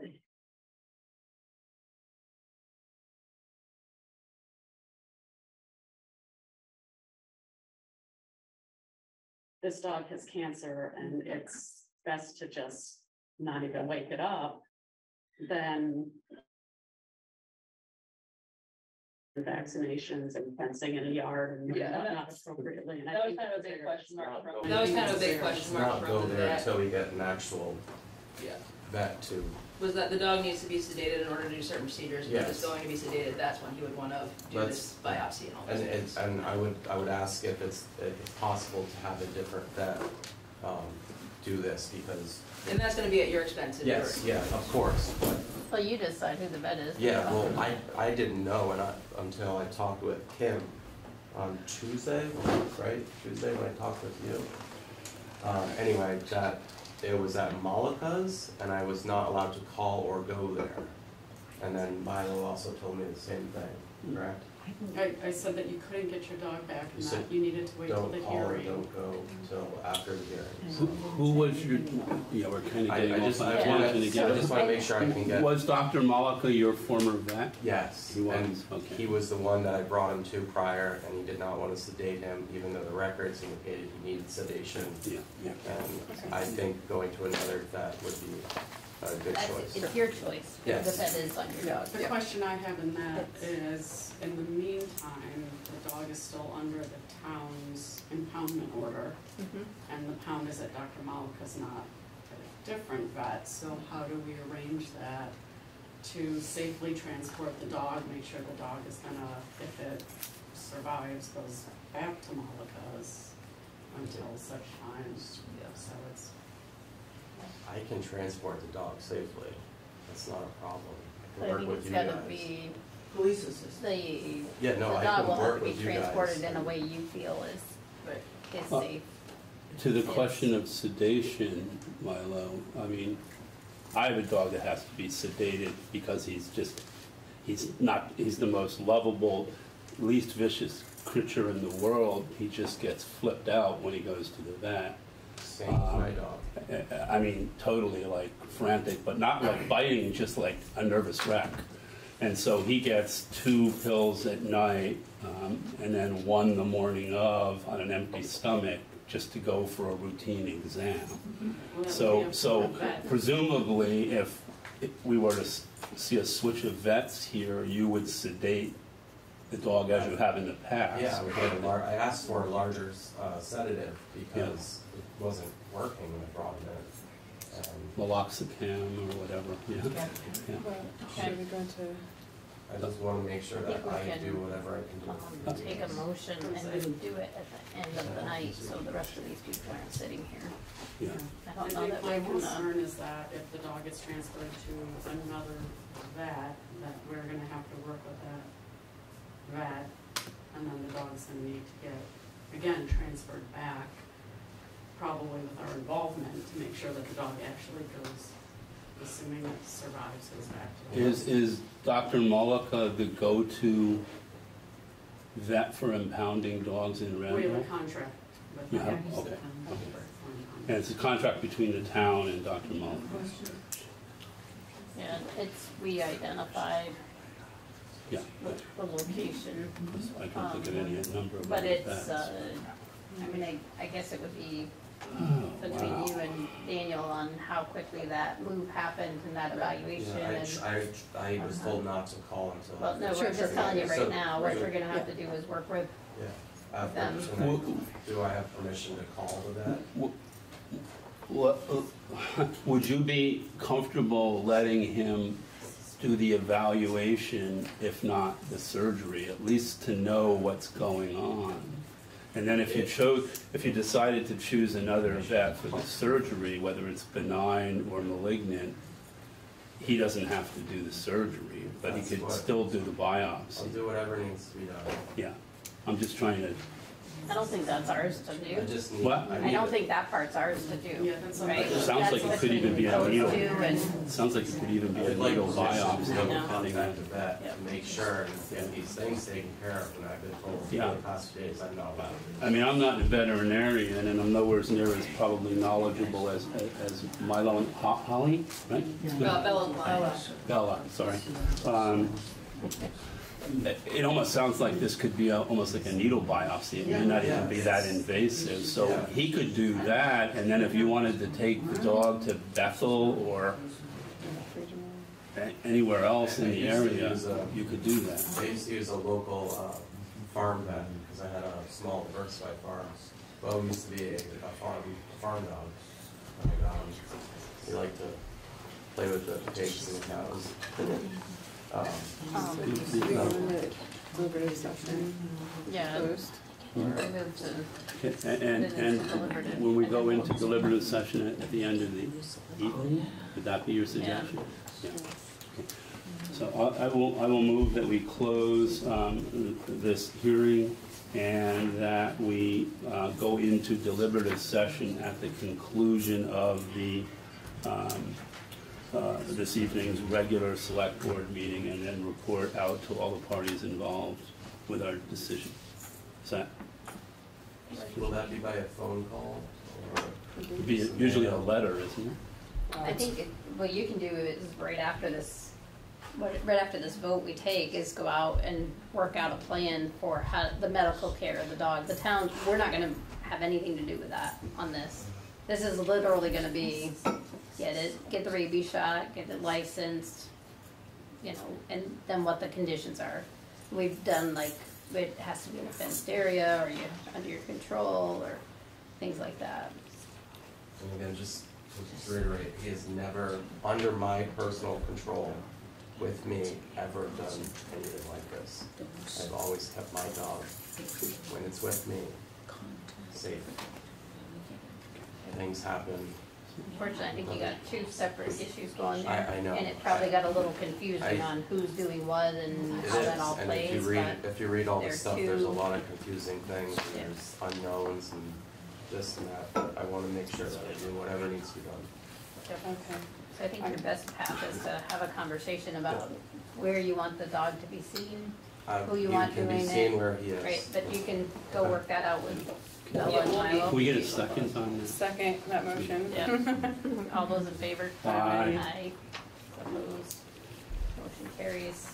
Uh, entertain a motion to adjourn the dog hearing. So moved. Oh, Second. All those in favor? Aye. Opposed? Motion carries. So can we get you to take a brief pause in between and maybe we can connect to the ethernet and solve some of this stuff? Yeah. Sure, yeah. Go for it. We'll be, we'll be in touch tomorrow. Thank you. Thank you. To restart? There. Thank you. Quick question before Milo. Milo. Hey, folks on Zoom, we're gonna try to restart the machine. If you get kicked out, please sign back on. We're hoping this will connect us in a better way. We'll be looking for you, so if you get kicked out, See how awesome we are? All Thank right, you, we're gonna call everybody. the select board meeting to order. Oh, where's my screen? Um, and Milo, Milo. Milo, can you take that upstairs, please? Yeah, and close the doors. Thank you. You guys, you're gonna need upstairs. First up is public comment. This is public comment to the select board at this point for something that's not currently on the agenda. And I will tell you, I'm gonna be strict about the two-minute rule. So, go. I'm Betsy, From East Valley Community Group. I'm a teacher, I believe in visuals. Do you believe in snacks? And if my two minutes, and if I'm done and I don't get finished, we just want to give you an update of what we're doing and where we're at. Um, You know we've got the slogan, bringing it back. And we've got uh, a lot of community drive going on. This is going to be several phases of work. You all know this. Um, The initial project, and these are somewhere in some sequential order, is the foundation, which the estimates are, that you're seeing there are based on the Breadloaf um, uh, inspection and architectural assessments that they did. The structural stability, which needs to go on, will go on during the foundation time along with that, is not- about another 250,000. Breadloaf put it in at 465,000. The ADA ADA compliance and fire codes, these have to happen in order to open. Uh, restrooms, handicap lift, entrances, electrical, 255,000. Building longevity, um, that's siding, exterior doors, lighting, insulation, painting, that doesn't necessarily have to happen in order to open. Currently, the EBCG has raised forty-five thousand in funds from private donors and fundraising that we've started our capital campaign. We have four active grants submitting totaling over four hundred thousand, ARPA being the largest request. Future projects, roof, kitchen, clock tower, landscaping, those are all down the road. Um, We do want you to know that speaking of the future, we get phone call, I get phone calls wanting to know if the hall can be used. Uh, running into people at different places wanting to know if it can be rented. I've had calls from undertakers, I've had calls from, uh, That's I'm so flattering. Two of them, you know? Yeah. Wow. They don't have a place for families to to get. be. Yeah, yeah. Now, now I had a call, I had a call from a state committee wanting to know if there was something. Um, Wow. Chamber of Commerce, White River Valley Chamber of Commerce, Linda tells me that, uh, she's, they have people calling all the time for places, wanting places to meet, so. I think this could be a very well marketed, um, uh, property of the town. And now that there's online marketing, which is pretty effective, could generate for the hall. And The hall's Have a never lot of been income. marketed. That's the, the big thing. We get all this attention, no marketing ever. We start marketing, it's a whole different world. And it adds increased attention to the village, enhances property values as well as economic growth. Um, We have two qu- questions for the select board. Would the town pl- apply for municipal grants? And we could help with funding. The grants that we're trying to apply for are not as big as what the town can apply for. That's what we're finding. Um, We hope to see the value uh, in restoring your hall. You hope you, we hope you see the value in restoring your hall, and you'll put this high on your list as accomplishments on the select board. Any questions for us? What's that? Okay. Oh, here. Oh, okay, good, I just wanted to. Any other public comment? Seeing none, we'll move into approval of the agenda. I So we move have- approval of the. Oh, oh. Before, there was the one change, if you're willing to consider it, would be to the public assembly permit, RACDC just wants to set a rain date for the next First Friday event. That's right, you said that. So it would be, you amend your agenda to include that as part of I'll move, five D, I'll basically. move approval of the agenda, uh, five, is it five D, right? Yeah, five D, I'll sorry. move the approval of the agenda with the, um, with the amendment that we consider a, um, a public assembly permit for RSC's, RACDC rain date, um, under four D. Uh, uh, s- um, so move second. Approved. I don't know. Motion and a second, all those in favor? Aye. Did you say aye? Motion carries. Next up is the consent calendar. I think it's just a minute, and there's the warrants are going around to get some signatures while we have you as a captive audience. Yes. So I thank you for they're that. all signatured up. Is there? Have a motion and a- on those? Um, I motion to approve the consent calendar. I'll second. All those in favor? Aye. Aye. Opposed? Next up is the vacancy and a timeline and process for filling it. So yep, Erica officially submitted her resignation on the second of August. We had posted the notice of vacancy in the town offices, on the website. We'll put it in two other spots in town. That hits all the statutory requirements. We've got to do this before Saturday, basically. There's ten, like ten day window. Um, and then we can use other channels when the time comes. We might just use those once you've decided on a process for anybody who's interested in it and wants to apply. Um, so the way statute's structured, when a member resigns, there are some statutory reasons for removal, but I don't, I can't remember actually a scenario where I've actually seen those in twenty years. Um, So in this case, it says that the board, remaining board members can meet and appoint somebody forthwith. State law doesn't say what that means in terms of a number of days, so you go back to a common, basically means as soon as you can. When we've had vacancies closer to an election date, the decision has been there's so few meetings in between when the vacancy occurs and when the voters can make the selection that we've generally just left it to the voters. We did this last year, for example, um, when Pat uh, wasn't able to continue on the board past the December meeting. So now that we're in August, going into September, no November election, I think it's appointment time. If you appoint someone, or when you appoint someone, they serve for the remainder um, up until the next election.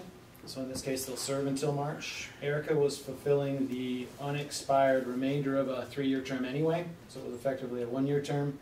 So everyone who runs in March for this seat will run for a full three-year term, not the remainder of another term, just based on how the calendar comes together. But this appointment is just from now, or whenever you appoint, Until March. until town meeting in March 2024. And so then the questions for you are e- essentially, um, you know, the traditional way to go about this is we put the notice of vacancy out there, we essentially do some advertisements to say, hey, we've got this vacancy, if you're interested in, in, in being considered for appointment, send us an email or a letter of interest, anything that you think's relevant, um, in terms of service, professional background, personal interest, whatever it might be, whatever you think might be of interest. Um, And at some point, you set up some time to consider those applicants, perhaps you do some interviews. And then at some point, you, you can either appoint an open session following that, or, or do it as you've done, or that you have the mechanism to do after an executive session. So really, the questions are, would you like just sort of a traditional, we'll advertise for it, and we'll use the normal channels, um, so everything from our website to the paper to the front porch forum to all of those things. Um, We'll collect those back in, and then we'll set you up for a meeting where you can interview candidates. And then, so then the other question is, do you wanna try a special meeting so that you could possibly appoint someone before the September meeting? Because there's about a five-week gap in our meeting schedule just based on how the calendar falls this year. Do you wanna do a special toward the end of August, or do you just wanna do it at that September meeting in, in one shot? So those are the two real questions for you. How do you wanna advertise and appoint, you know, go through the appointment process, and then do you wanna do it in the in-between or at a regular? So in the past, have you Hmm? been through, have you been through this? Um, I've been through this path personally, um, in another In another life? jurisdiction. Um, That's a total different life. Yeah. Jurisdiction, so. oh, yeah. Um, We've advertised in any way we could to get the word out. um, And then we've allowed everybody that applied to come in and meet with the board We've in already, the past. uh, in the past. And then we kind of narrowed it down, and one time we had, I think it came down to two. One time we came down to two, and we had equal, two of us wanted one candidate, two of us wanted the other, and so we went without one for a while, but, um, Right, right. it's, uh, we didn't, we didn't allow them to be culled through by somebody else. Like, all the applicants came to the board members, we all met with all of them, Right. and kind of talked about what was important to us. It wasn't like a job interview, so we didn't have to stick with standard questions or whatever, but Are those interviews conducted in public? They are. So it's a special meeting or at a regular select board meeting? Either way, it's, I think it it's not an you executive got session. one person or two people that The- apply, Or is the a regular decision meeting's discussed okay. in exec, If you deliberative? have ten, You can consider. it. then you want to probably go with a special date, I would think. Yeah, I, But, August is a tough month to herd cats. the- But- I think we got to see how many people apply, right? If you get one or two, you can do it at a regular meeting. If you get ten, Okay. you're stuck with Yeah, a special I. I don't have the sense that people are gonna be knocking the door down. um, Why? Just you wait. Well, we'll see. We're a pretty fun bunch these days, so. Oh, yeah, um, yeah. Yeah, August is a little tough. I would rather just kind of, I think we advertise, see how many there are. As we get close to the September date, figure out. oh wow, September, September fourteenth is our, our select board meeting. But if we have to, we could meet earlier in September, Right. Right, special, Right. and do Right. something. How many, then- how, how far in advance do we have to warn the special meeting? It's just forty-eight hours, right? Yeah, we, it, I mean, it's special in that it's off your regular calendar, but we'd warn it like it were a regular meeting, so it's, yeah, the forty-eight hours, no less than forty-eight hours. And the deadline for advertising is uh, when? Thursday. Oh, in terms of You- posting You everything? just talked about, Yeah, so for a Thursday meeting, we have to post by Tuesday. no, no, for By advertising the Saturday, with ten vacancy. days. Oh, yeah. so what we'll do is probably set it out and set, um, some kind of deadline, and then at this point, we might set it at least two weeks out. Yeah. um, Possibly even three, just because you have enough time, and then we'll see. Yes, You'll have to send it out a ways, cause you gotta get it in the Herald But you're not, you're not mandated a certain towns. time frame, right? Not for the advertising piece, no, no. The, the pieces that are mandated that have a time frame associated with the posting of the notice of vacancy, and then there's that time element of forthwith. Well, getting it in the Herald is just getting it in by Monday at noon. Well, yeah, but that's. I that's. was just uh, saying, you gotta wait for Thursday for the Right. paper to come out, Right. and then you gotta give them time. But we could conceivably had an ad in, have an ad in Mm-hmm. this Monday for next. Yeah, Yeah, it would come out on the seventeenth. We'd have it online in a few places too, in town hall. And then w- Front Porch Forum and Floyd's and all the usual suspects, Yep. right? Um, and then if we had a deadline of September first for applications, that'd be three weeks from tomorrow. September's coming. And then that would, if we had a lot of applications, we could decide to maybe do a special meeting on the seventh of September, for example, one week before our actual select board meeting. Yep. Does that Or? I would, I would really, Is that- what's Or that? a day that Well, works. yeah, yeah, but it would, uh, it would give us, and that's Labor Day week too, and I don't know. I think Or we given could all do the after things that are on, the- on our plate this fall, that having somebody on board for the September Yeah. fourteenth meeting would be, for I example. mean, we've got the whole police services committee issue, we're going into the budgeting cycle a week or two, I mean, a month or two later. At least they'll, you know, if they don't come in until October, You're gonna hear about some more stuff tonight too with flood recovery, with. About what? Flood recovery. Okay, decisions so, that we have so, to make yeah, on there's, that. th- th- There's a bunch of and we've stuff got the ARPA f- decisions to make, I mean, there's just every reason in the Are you world to saying get we're not somebody. competent? We need somebody- What's that? Are you saying we're not competent? We need somebody to help us? No, no, no, uh, But- that's been alleged by some, but we won't go there. All right. I can't read, We so got that. what do I know? Got that pretty well set? Um, okay. Okay. That's good. Let's, uh, talk about the topic nobody wants to, which is setting the property tax rate. Can we wait until, uh, we have another select board? I'm kidding. No, don't blame it on them. Pin it on the new kid. Wants to apply? So Mimi is here with us. You had some materials from her and Dennis in your packets to consider about the rates, sort of the usual, not only the breakdowns for this year, but also giving you sort of a multi-year comparison.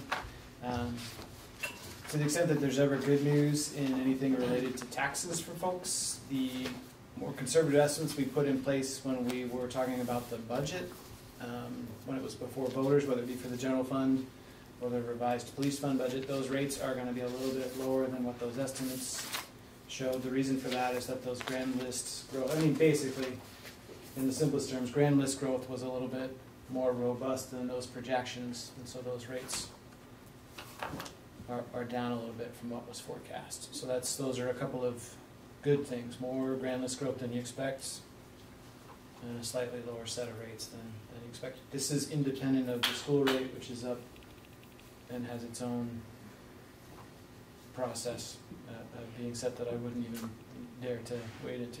Yeah, so that the public is understanding, um, maybe Mimi could walk us through the changes and explain the, what we do have control over in town government and what we don't have control over.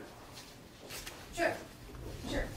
Um, so the tax rate basically is the municipal budget divided by the, the grand list divided by the municipal budget. Um, we're in charge of our own grand list in the municipality. The difference with the state tax, the, the education tax, is, um, they don't use our grand lists, the municipal grand list. Not anymore, not since Act sixty-one in what, nineteen ninety-eight? Yeah, Ninety- that's sixty, yeah, right? ninety-seven, eight-ish, yeah. So, back in the nineties, what they did was they decided so every kid could have um, an equal access to education. Um, you know, like some kids in Chelsea would still have the same payment budget as kids in Woodstock, whatever. Um, is that what you want to know? Like, am I going too far back? Nope, that's Okay. good. Because I think some people Um, feel okay, like this so- board controls oh. everything in that tax rate, Yeah. so that's what I wanted to. Okay, so what happens with the state education tax rate is um, the state, we all pay into a state grand list. Every single municipality or whatever, we all pay into a state grand list.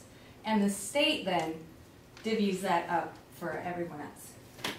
Um, and unlike a municipal tax list, um, that's where our CLA comes into play, where um, if you have like a house that the fair market value is like two hundred thousand, but we only have it assessed for one hundred thousand, the state's like, well, do you understand you're not fair market value, so we're going to apply that CLA and get our money anyways. Whereas a municipal tax rate, we don't apply the CLA to make up for fair market value. So I think that's like the biggest difference. I mean, it can, that's good, right? Right. Any other questions? I mean, it's so, the state tax rate and the education tax rate could be like an hour, I feel. Um, So, uh, basically, when we look at the change Yeah. that people are gonna see in their tax rate, Yeah. ten cents of that change Yes. is all education tax. It's And all- That's part of the budget you vote on separate. The- It's This board separate. has no jurisdiction over. And I brought, I don't know, like, if you guys want to, for fun, you could always go, or maybe it's fun for me. Um, but you could go on the PVNR, the Property Valuation Reviews website, and put in the search engine, um, state education tax rate, and they have like a really cool, um, by map that you can compare your town's education tax rate in CLA to everyone else's. Um, one change this year is we used to call it the non-residential tax rate, and now it's called, the state has changed it to non-homestead. But the jump in the education tax rate has nothing to do with my office at all. Or what this board does. Or what this board does. It's two separate grand lists. Mm-hmm. And we just, um, we're just the messenger. But, um, We're the bag man for the yeah, basically. like if you wanna change it, like, you know, work on the legislature and um, do that. Uh, but so yeah, um, so I gave the board um, because Dennis and I like math. We like to show you how we did the math, so you have that, and you can check it against the town report. You know, um, but we use the amount voted to be raised by taxes. So there's two when you vote. You know, you have the two amounts, and we use the amount voted to be raised by taxes um, plus the special appropriations, um, and that gave us a general fund. We divided that, what do you guys, you want me to go through this list? Um, No, and we just went through the whole thing to get to basically the municipal grand list divided by the budget equals our tax rate. Um, the police district has its own grand list, and we divided that by the police budget. Um, the local agreement tax rate is basically the veterans exemptions, the state will pay and accept on the education grand list ten thousand dollars per veteran we have. The town voted at some point to do the extra thirty thousand, and so that's on us to pay into the education tax rate. Um, so that's what the local agreement tax rate is, is the special appropriations plus the, um, veterans exemptions divided by the grand list, and that's where that tax rate comes from. And The general, the overall tax rate includes the general fund, the highway fund, and the library fund. And then with, whether it's police or those, the amount to be raised by taxes is what the budget's set by voters, minus the expected non-tax revenue, and that's how you get to that amount. So it's already factored out any of those non-tax revenues that we're expecting in each of those. So with that before us, we have the new rates, which have, are based on budgets the voters have already approved. Yep. Um, And unfortunately, it looks like the education tax jumped a lot this year. Yeah, the one thing that made the education tax rate jump so much, and why it didn't jump last year, is because last year, what the state did with its emergency funds and part of like the COVID relief, is they took extra funds and boosted and bolstered the education grand list, you know, from all the money that they weren't able to make, so the tax rate wouldn't change. And this year, they, they didn't put extra money into the education grand list like they did last year. So, um, yeah, And the issues with the CLA are being addressed through the reappraisal process that's well underway. yep, Well, I think the important thing to point out though is in twenty-two, the education tax was a dollar fifty-six. They put money in, it only dropped it to a dollar fifty-four, but this year they're after a dollar sixty-four. So they saved us two cents and then nailed us ten. yeah, yeah, they sure did. Um, I think part of that is our CLA. I mean, it's one part of the equation, one part. There's more parts. All right, any questions by anybody on the board? If not, how If you could many? explain what a CLA is, I'm kidding, in twenty-five words or less, you would, you would be forever in my um, Be careful, it's admiration. That magic. would be a hot commodity. You certainly would. I've, I've written about it and I don't under, I mean, I'm not sure I understand it. so- Challenge accepted. Not right now, I'm just giving. No, no, no. All right. Anybody wanna take action on that one? Uh, I motion to approve the property tax rates for fis- fiscal year twenty-four. And I will second All those in favor? I. Aye. Opposed? Reluctantly, it passes. Next up, we have a request to appoint Rachel Arsenault to the Development Review Board. I'm guessing you're, we communicated, but we have never, never seen you. You're Rachel, then I'm guessing, yeah. Yes. Rachel is here. We have materials supplied in advance. As I mentioned in the report, you have at least two seats on the DRB um, with expiring terms um, of different lengths. One that expires essentially at the end of March or into April of 2024, and the one that expires in 2025. I don't know if you have a preference, Rachel, for either of those. Um, the if we got a willing volunteer, we take up for the longest. I would say- I would- I would, I would say the longest, the longest sentence allowed by law. So there's certainly room. Uh, Rose is here to. I'm here for the six month and nothing else. No. I did twenty something news on it, so Yeah. we could uh, sign Yeah, in for I'm, that. I'm on, Anybody on it have any now, so. questions Yeah, the DRB. on this? Yeah, do you need anything from me? Any questions on? I the don't, I know Rachel. I feel like she'd be a great candidate. Is that a motion? I- Oh, I- I'm, oh, oh, sorry. I do as well, so I would Yeah, I second that I don't know emotion. anybody else. Second my Well emotion. done, Tom. Second that emotion. Well done, Tom. We're moving. Thanks. Okay. Onward. Have a motion and a second, all old those in Motown, too. favor? Bye. Aye. Opposed? Motion carries. Just sit through all We have a that. permit Run, but you can't hide that was anymore. New World Festival, and a request to add a rain date to First Fridays. Questions? Anybody have any questions on those? Conversation. Um, Do you want him to hold it then for a little bit? I'll go back. Okay. Then we can chat. So, so with the New one, we've been working through some of the traffic control stuff. We were hoping to resolve it tonight. We may have to do sort of a special action a little bit later once we resolve that. Um, And it sort of reflects the fact that law enforcement has been in flux from last year to this one, if you can imagine that. So Scott and the, the newer director of the Chandler have been working through that, communicating. So we may want to just stick a pin in that one until we can resolve those things. Would we have to, can we do that by email? I, I think we would probably go, just based on the timing Yeah. with that, you'd approve it and ratify it.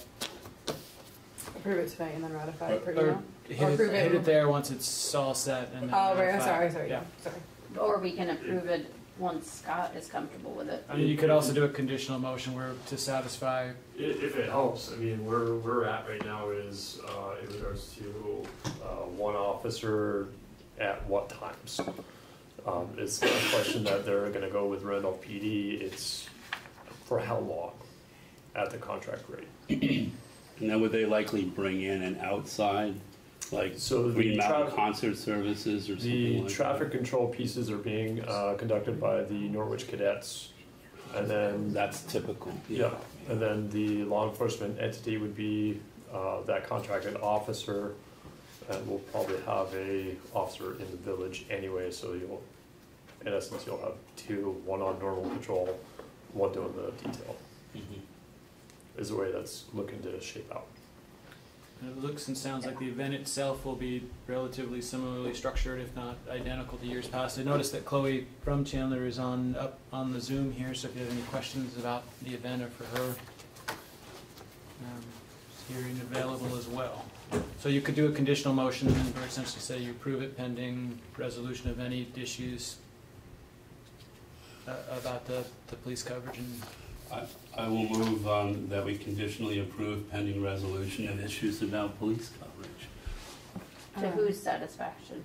to, to the satisfaction of the Please. Randolph Police Chief. Okay. And that we approve the rain dates for, and then For second. Well, it'd be a Let's- second. Maybe a let's wanna do second it motion for separate? I'll- Yeah, I'll- yeah. We can, yeah, Yeah, let's do it separately. uh, yeah, let's do that separately. Um, yeah, and then, uh, you know, one thing we've talked about but haven't actually done anything about was removal of garbage too, and that's, has that been an issue at all in the past? Hmm. Not that I'm aware of, because we have, For- for this we have a volunteer, I'm saying we because I used to be the Right. director of Chandler. Right. Um, There's a very dedicated, longtime volunteer trash crew that um, has always taken care of that. so. Okay. resume builder. Would any of them like to All be on right, the we have a select motion, but we don't have a second. Second. All those in favor? Aye. Opposed? Motion carries. For ACDC. All right, thank- Thank you all. Thank you, Hi, Chloe. Chloe. Bye-bye. We have an RACDC rain date Um, Approval So it's for September? Adding the eighth as a possibility, so September first is the regular, September eighth would be the rain date. So I would, I would move that we um, uh, approve an amendment to the, um, to this special event permit to allow for a September 8 rain date. Um, before I second it, Scott, do you have any questions about that or any concerns? I know it's kind of more of a low key. Yeah, no. Okay, okay, so I'll switch to that. I second. All those in favor? Aye. Aye. Aye. Opposed, motion carries. Um, by request, Bethel Emergency Committee and Vermont Council on Rural Development want to discuss the White River Valley Intermunicipal Regional Ener- Energy Coordinator. Dear Lord. Hi, that's me. Nicole, Nicole's here, yeah. Um, so my name's Nicole Sear. I'm the resigning chair of the Bethel Energy Committee. I live Oh, out. come join it, I'm resigning. I'm out of here. That's great. Um, I, I grew up here in Randolph. Now I live out in East Bethel. I'm half a mile from Randolph. I'm half a mile from South Royalton, depending on which way I go. Um, so we're in that little corner. And I've been the chair of the Energy Committee for four years. Um, I've had the opportunity to connect with neighboring towns in the White River Valley, including Randolph. And as we talk amongst ourselves, um, I've been noticing gaps. And I, I like noticing gaps. I have a master's degree in business administration. I love organizational process, strategic planning, all that stuff. So we're noticing these gaps. We're short on volunteers. The people who we do recruit, they're um, they don't have the industry knowledge and they don't always have strong administrative skill sets. So sometimes great for outreach, staffing a table, but when we talk about something like should we install an electrical vehicle electric vehicle charging station somewhere, um, you know, our conversations are really falling short. And this is happening from town to town. Um, and we can see this quantified in the TRORC report card that came out in 2021. Um, and you all got one here in Randolph too. I'm not sure. Does anybody remember that? There we go. I was not on the board yet, so. So Randolph got a C. Pretty much everyone in the upper White River Valley got a C. So that shows us we're falling short. And there are specific benchmarks for the year 2025.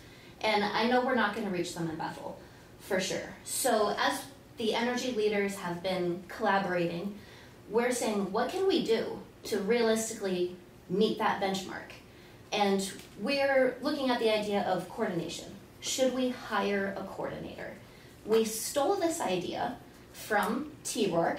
They have an intermunicipal regional energy coordinator, IREC, um, who serves like Sharon, Barnard, Woodstock, seven towns banded together. Went to TRORC and they're like, let's hire somebody. So those towns, and if you also look in the data that accompanied the select board packet, those towns that already have a coordinator have really high median incomes. Like Norwich, Vermont is included in there, highest one in the state. Um, so we're, obviously there's a difference between us and them. The, the towns we're looking at, upper White River Valley, Tunbridge, Brookfield, Braintree, Rochester area, we have low median incomes below state average, all of us. Randolph is the highest one, and it's still below the Ran- the me- uh, Vermont state average median. So, I know that Gary approached Randolph in 2022 about the idea of possibly collaborating with other towns. Um, do you all remember that? Oh, yeah. Yeah. Okay. I I wasn't here yet. So that, that idea was floated, and at that time we're all pulling in different directions. And I'm over here saying, let's make a timeline, let's make a plan. so I applied to VCRD for human resources assistance. And I've been working with Laura Cavan Bailey from VCRD um, to form the, the assistance we applied for was to host a discussion series in the White River Valley. We want to pull back this energy coordinator idea and say, is this really a good idea? If we get everyone in the room together, are we agreeing that maybe we should pursue this? that's the purpose of the project conversations we're right in the middle of right now. So I'm here today to give you an update on that. The conversations have been so productive, having a higher, like a, she's not hired by us, but a professional moderator coming in and helping us talk to each other. Um, there's VCRD, TRORC, Vital Communities. Um, they're all involved in this conversation. They have a representative coming out. Um, also, we have a representative from VTC and from Tri Valley Transit who have been on the fringes tuning in. Um, so that's what's happening right now with that. And what I sent to you all was the notes from meeting number one. And what we did, I don't know which to put down or pick up. what we did is we got together. It was a smaller meeting to begin with. We had Bethel, Rochester, Royalton, um, nobody from Randolph at that one. The people I've been connecting with here have been Susan Mills. She's still on the energy committee, it still exists. um, and Larry Sakowitz. I've been including them in Kim. I send Kim a lot of updates. so even though they weren't present at this first discussion, the people who were said, you know, what are our assets? What do we have going for us? What are our challenges? And then we brainstormed a list of ideas. What can we do? And we came up with somewhere around like 10 ideas. And we sent them out in a survey and said, everyone who can't be in the room today, or you know how volunteerism is, sometimes you just need to do a survey. So we threw it out there, did it over a month, um, and when we got the results back, we had, which I did not send around yet, these are very new. When we got the results back, there was 10 towns who responded, and the biggest vote was establish a structure to hire an intermunicipal regional energy coordinator. So at this point, the group is saying, we want to pursue action items related to this project. And we made a list of action items.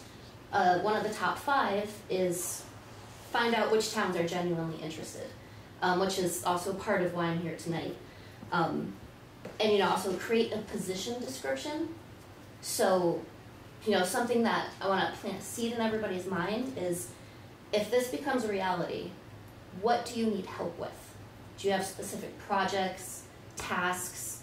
Grant writing is a big one. On our survey, volunteer coordination was a huge one. If we can just get people, motivating people, you know, sometimes you just need that mechanism where there's somebody right in the middle saying, like, yes, I will help you with the project and connect you with this person. Um, so I'm going to pause at this moment and let you all absorb and give me any questions if, if you have any popping up in your mind. Um, when you talk about creating a structure um, outside of, of Two Rivers, or or because that provided the structure for the seven town Woodstock Barnard that you re- referenced, right? Um, and that's Well, you gotta have a parent somewhere, right, right? right. That person's gotta be yeah, on somebody's payroll. Right, right. I'm just saying. Yeah. I- I'm just trying to clarify what you mean by establishing a structure because the structure is already there. It's just a question of where this person's going to live, right? Rather than creating some whole new entity, right? So I'm just co- trying to get some clarity on what you mean by that. It's a good question. So, meeting number three, we're going to be fleshing that out further. There is the possibility of TRORC being the parent. Um, there's also the possibility of one of the towns hosting this position. Probably Randolph or Bethel, realistically, because they're the only two towns with town managers. I can't imagine any other town really wanting to pick that up. So, you know, there was also a position. Do you all remember Stephen Bauer? Yes, but he's now the zoning administrator in Woodstock. So his position at TRORC was to be a regional energy Yes, coordinator for everyone outside the seven towns. And he was funded through ACCD, a grant through there, and he was hosted by TRORC. So when we say establish the, the structure, we're, we're trying to flesh out those specific pieces. Where's the funding gonna come from?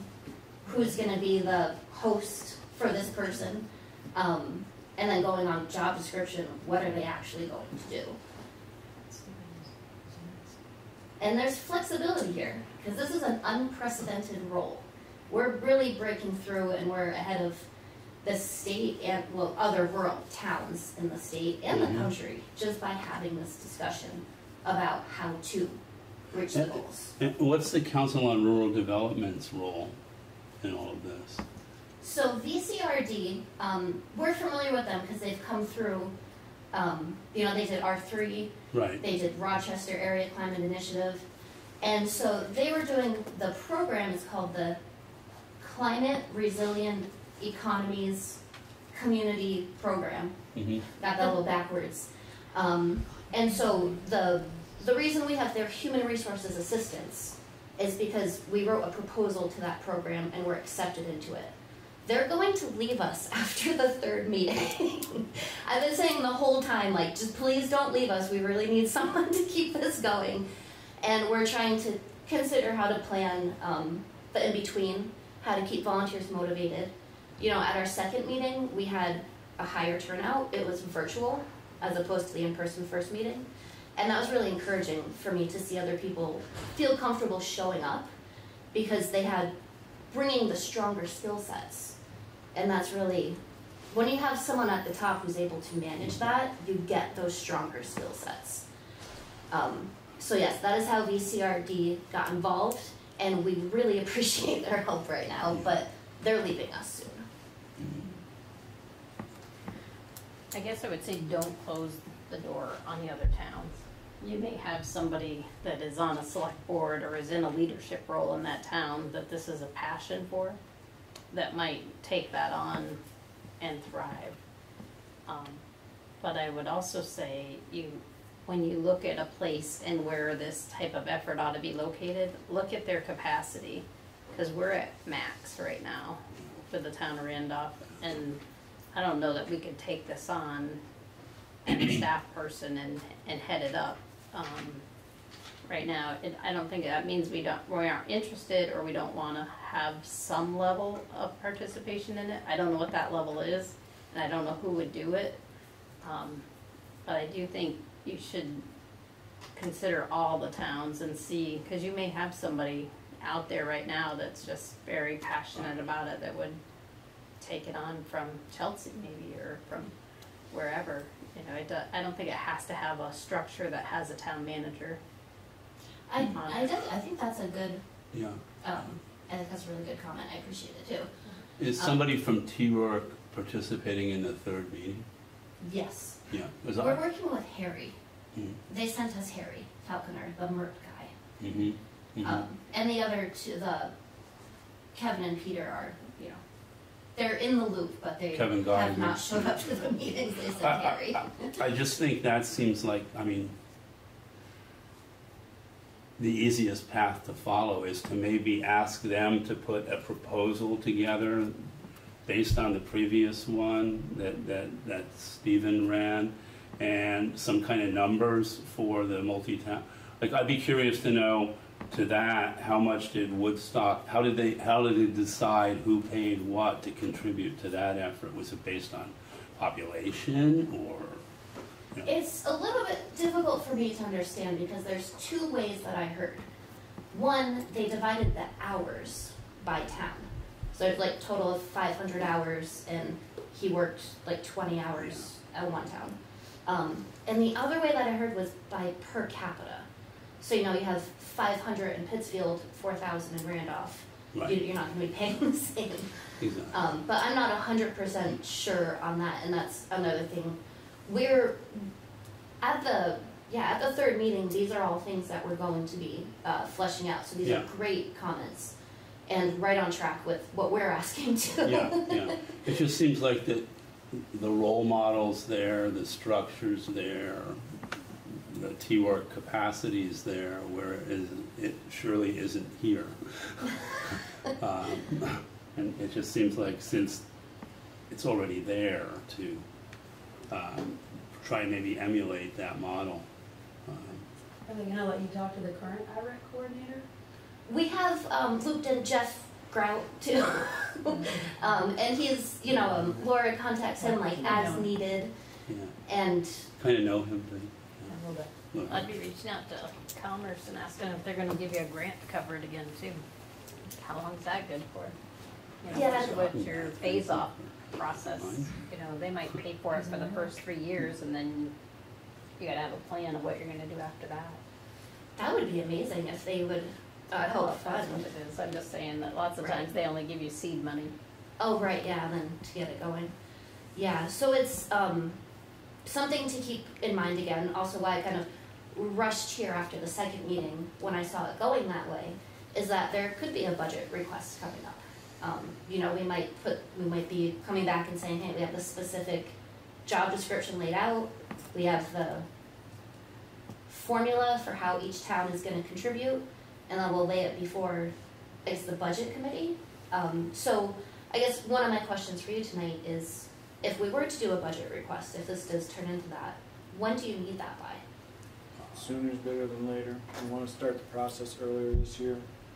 I'd be the intake because I'll probably be in the driver's seat for that again. And then it runs through sort of a budget committee and then comes to the board sort of as just the general flow. So in Bethel, it's October sixteenth. That would be awesome. Okay, We don't have a preset schedule yet, but we'd like to be substantially through a first draft by the, by Halloween essentially. yeah, so we're, we're pretty much going for October with this. And it's, you know, something I like wanna mention but don't wanna like rally the, everyone too much is, I really don't think we should have to tax people who live in a below the median income. Full ten towns, all of us are that poor. I don't think we should even have to raise our own taxes. I think we should find state funding for this. Like this is the plan that we as voters asked for and we need. I wish the tax lady was still here. Um, but you know, I, I would really love to see this if we can push, um, use our voices right now, leverage this moment. Because we have VCRD's attention, TRORC's attention, vital communities. So we don't have capacity in Bethel either. And we need to say this as loud as we can to get the help we need. Um, and that's a big part of what this project is about for me personally, growing up here. So let's leverage it. When is your third meeting? It's coming up in September. I can add you to our email list. We're going to do an online poll, but it's to get the exact date. But we're circling around like the first week of. But it sounds like Larry Sakowitz is probably in that loop already. He's in the loop. Yeah. I mean, you know, not everyone who's in the loop is like right on it all the time. So the more people in the loop and are informed, I think in this case, because it's a very short project, that's appropriate. It's, it's not like we're doing like a steering committee recruitment I right was just now. thinking in terms of when our September meeting would be and whether you might be able to come back to that with a, a progress report. Probably possible. Yeah, You're the second Thursday here. It's the fourteenth this first September. fourteenth of September. We should probably meet before then. I don't want to promise anything I can't, Right, but it's I just, pretty likely. it's, it just seems like it's a work in progress and maybe by then there'll be a little bit more Yes. meat on the bones of this idea. Of the job description piece, Yeah, um, yeah. definitely. And whatever comes out is gonna be, um, it's gonna depend on what goes in. So definitely inviting people to put their input in now, rather than waiting for that last bit when we're all trying to like rush. Cause again, after that third meeting, we're, we're losing Laura. We're not gonna have her. So just get it all in while we have that human resource to help us Mhm, process. mhm. Um, so kind of questions for you, yeah, just be thinking about specific tasks or responsibilities. Any other organizations that maybe we should connect with that would benefit from this? Um, Randolph isn't, isn't quite my playing ground anymore, so, you know, the energy committee isn't really doing outreach for us for this. Um, data budget request, we got that. Um, are you in touch with RACDC? Because they have some stuff in the works there too. And they may also need another source of, um, hosting an employee and all that stuff like that. Uh, I don't know about that. Well, well, they're another contact at least. Um, It sounds like, That'd be uh, interesting. yeah, If everybody's they were. gonna. I mean, yeah. they're, they're doing a fair amount of work on uh, energy with their own proper, uh, energy issues with their own properties, including uh, new developments and putting in a microgrid um, in, in their most substantive development that's going to be happening over the next three to five years. Um, That's drawn national attention um, because um, it's, it's become kind of like a, a, a pilot project or a template for what other uh, affordable housing developers can do, uh, nation, agencies can do nationwide in terms of microgrid technology. So it, there is some interrelationship there. Yeah, can I don't think they have the capacity to, to house this position, and it's really a little bit out of their purview.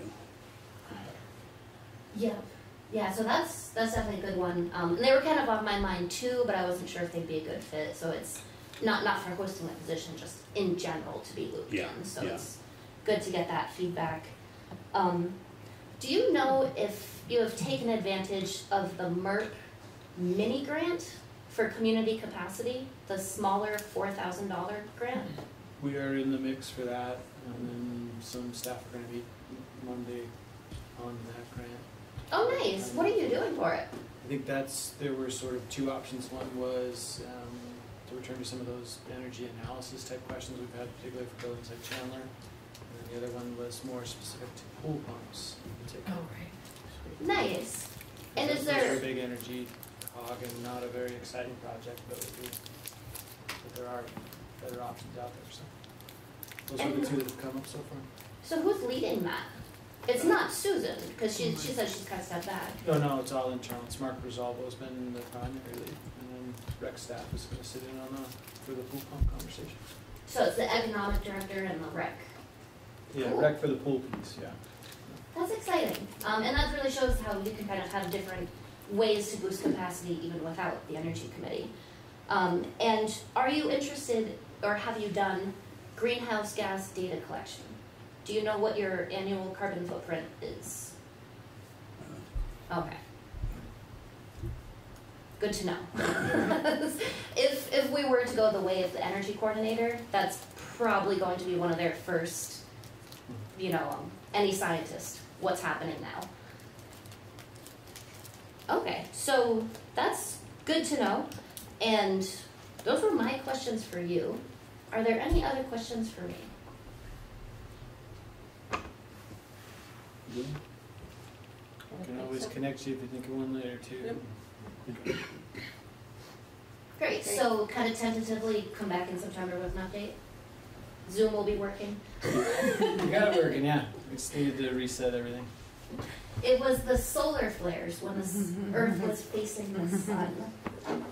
That's my theory. They've been very Wow. bad the past few days. Actually, there's supposed to be a potential for uh, northern lights over the next two nights, so we'll see. Yes, after midnight. Well, we'll still be Oh, we'll still be here. We'll be seeing visions of our own Sounds uh, great. creation by then. Tom, do you want to be on the list, the email list? I would like to, but I, I, I'm just overcommitted. Um, I hear you, don't do it if you're overcommitted. Yeah, yeah. Let Larry right. do it, he's on the Uh, list. I'm one of those people Larry's that tends to say around. yes to things, and I'm like, why did I I- do that? So, uh, Great. plus I'm on the RACDC board, which is why I know some of what they're involved with now, and we've got a lot on our plate there as well in the coming months, so I, I, I- I need to respectfully decline. Okay, good to know, I will not email him, but Kim, I'll be sending you. But I'm interested. So Kim, you, you're in. Great. Any other Yeah. questions? Thanks, We're all everybody. I think we're all set. Thank you very much. Next up is updates from the July heavy rains, as they've been called, but it's the, So we're calling July heavy rains? well, except they went into August, so I don't know why we would call them July, but Yeah. So we'll probably just keep this as an agenda item for a while here, especially as we move from response and immediate rebuild into some of the reimbursement, some of the other larger questions that are looming out there. Um, I think the temporary bridge, if not fully installed today, well, it was pretty close. I think they got through the last pieces. We had a chance to talk to John at the end of the day. they Um, did, I was there before I came here. yeah, and then Brayley Road was reopened, I think late last week, we were able to reestablish the road piece, there was no bridge damage there. Um, rented some equipment to essentially come around the long way through some fields um, to bring material and equipment in, and so that's at least reopened. So that reopens all of those pieces. There's still some of that limited traffic issue um, with North Randolph Road as we await. One of the things we're going to need is for some sort of analysis of that half a mile or so of uh, slope where there's been some destabilization, so we can figure out what the best options are long-term for that. What road was that, I'm sorry? North North Randolph. That was North Yeah. Randolph, okay, okay. Um, So that's a piece that will extend into the, um, into the coming months. We filed our um, PRA, our public request, I forget exactly what the acronym is. It's a necessary thing you've got to file to get to the FEMA queue, and so we did that. Um, And that kicks off the process of getting somebody assigned to us from FEMA. We haven't had any contact, anybody reach out to say that it's them yet. Um, but that at least is, is in the works, and so it puts us in that queue. I know they've certainly had their hands full with the, the scope and scale of the disaster statewide. Um, FEMA advised it would be two to three weeks before they assigned a project manager for us. So it puts us probably closer to September then, based on around Labor Day, best case. We have brought in some extra capacity to help uh, us get coordinated and organized. We use some internal capacity, so the whole idea is to get us in as good a spot as possible before we have to start to file for reimbursement and those pieces.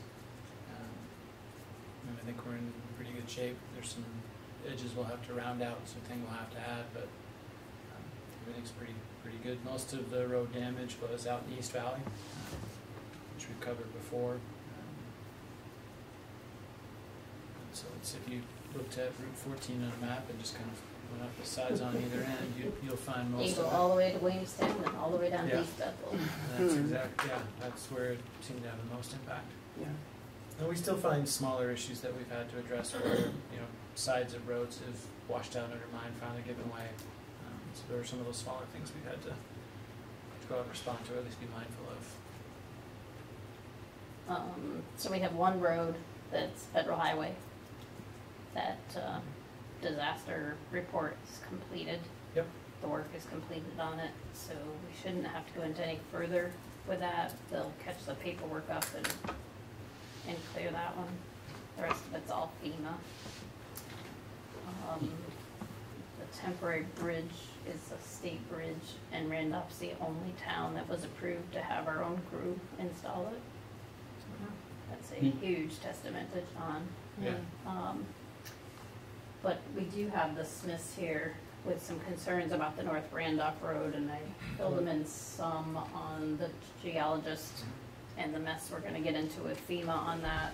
Um, very valid concerns that the last time FEMA tried to close the road on us, took us three years to push back and finally get it so we could armor that one bank.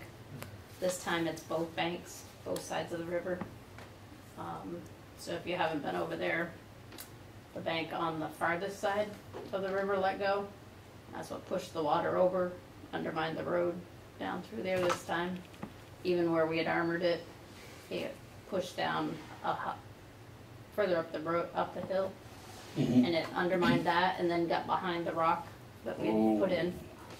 Um, but this time it goes from above the intersection of Rogers Road and it comes all the way down almost to the, almost to the bottom where it meets fourteen.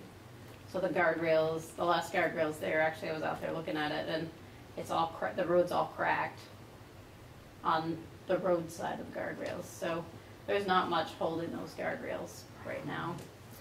So we believe though that we can still keep the width of Rogers Road to leave that open to two-way traffic. But below Rogers Road to Kibbe Road is gonna have to be one-way Temporarily or? until we can with FEMA again, and that was three years last time. Keep use, So- keep access, keep emergency access. Right, right. And then keep it in use while the FEMA conversations. Yeah, Ongoing. so the concern was, was pretty valid, that we not narrow it up, because they gotta get farm equipment through there. Sure. Um, but it also creates a hardship there in that if they can go up from the farm to their fields that are above, they can't come back down. It'll be one way up because of the fire department coverage area. So, um, but they don't even have, there's no access over to Kibbe Road to come back down that way. There's no nothing, so, you know, what I was talking to them some is when you're coming back down, put somebody at the bottom, hold up traffic while you bring your equipment back down, but granted, it's kind of a, it's a pain, but at least we're gonna be able to have the road open. I don't, I can't think of another way to get you back down through there. I've been sitting here playing the area through in my head and haven't got there done. Well, it's from the Kibbe Road to fourteen gonna be two-way traffic? Yes, Well, that is gonna be. yep. The road is four, or the bridge is 14 and a half feet wide, so you can't meet anybody on the bridge, but you can clearly see that Yeah, somebody's on the other side of it. right. You know, there'll be signage saying it's a narrow bridge. But And I down guess on- if you're a daredevil, you could. Down on the Cribwork corner, they gotta put barricades in there or, Down on which corner? uh, below the bridge, you know, where the blocks are? Yep. You said it's undermined there. Okay. Are they gonna- Um, what are we're they looking at that in the morning to determine, there's a question about whether the town staff can do that or if we're gonna need somebody to come in and. Yeah, anything we do there is gonna be temporary. It's gonna need a lot bigger fix. oh, It's pretty, it's pretty interesting when you go down through there. It's not pretty. The one little landslide that happened the other day on the opposite side by the, that retaining wall, though, that got cleaned up pretty quick. That was easy. A couple scoops of dirt, but what are they gonna do by, where they put the new bridge in where all that is slid down and it's just sitting in the brook? isn't that beautiful? Are they So- gonna have to clean that out or? You gotta get permission. I said on TV that we gotta leave these logs in the brook for the fish. Wow, that weren't there before. I know. Um, so that's the, you're talking about the slide that just happened yeah, the other night? yeah, Yep, and, uh, so we're looking at, that was being evaluated today, actually by John, on what we can do. There's a, if you haven't been reached out to yet, you will, they're looking for damage assessments from the storm the other night. That will be part of it, yeah, uh, to see if they're gonna, if they, if they declare it a emergency, we'll have the same period of time where we can go in and clean it up. Uh, but they haven't declared it yet, so we can't quite get the equipment in there yet, and it's, uh, if we have another storm, and all that's in that brook, new bridges, yep, it's not an if, it's a when. Yep, and that bridge will have to go through a hydraulic analysis and all that to determine what ends up in there. yeah, So my guess is they're gonna, we're gonna probably see a, a much bigger structure in there. Is there a When weight the limit permit- gonna be on this temporary bridge? Uh, my understanding is there is, but it's not bad. Um, shoot, I heard it too. Is it, um, it'll take a fire truck, Yeah, easy. They're going with the default state. well, a lot of your big trucks go up the North Randolph. I know they Road, do. It's not as steep as sixty-six or. I know, they might not be able to. It'll be quieter on the road. Um, some of that we gotta work out too, Yeah. like we're, what we're gonna be able to, to put through there. Our worst, prob- our worst problem is gonna be getting from the field back down to the farm with all Yeah, the we gotta be able to get up and down that road. I mean, we, we can't go all the way around. Well, unfortunately, we don't have the width there right now, and we can't put it, and so we're gonna, What what about the width of the road down below? We can't meet a bicycle on that other road. yep. That one's a, that one's a class four, right?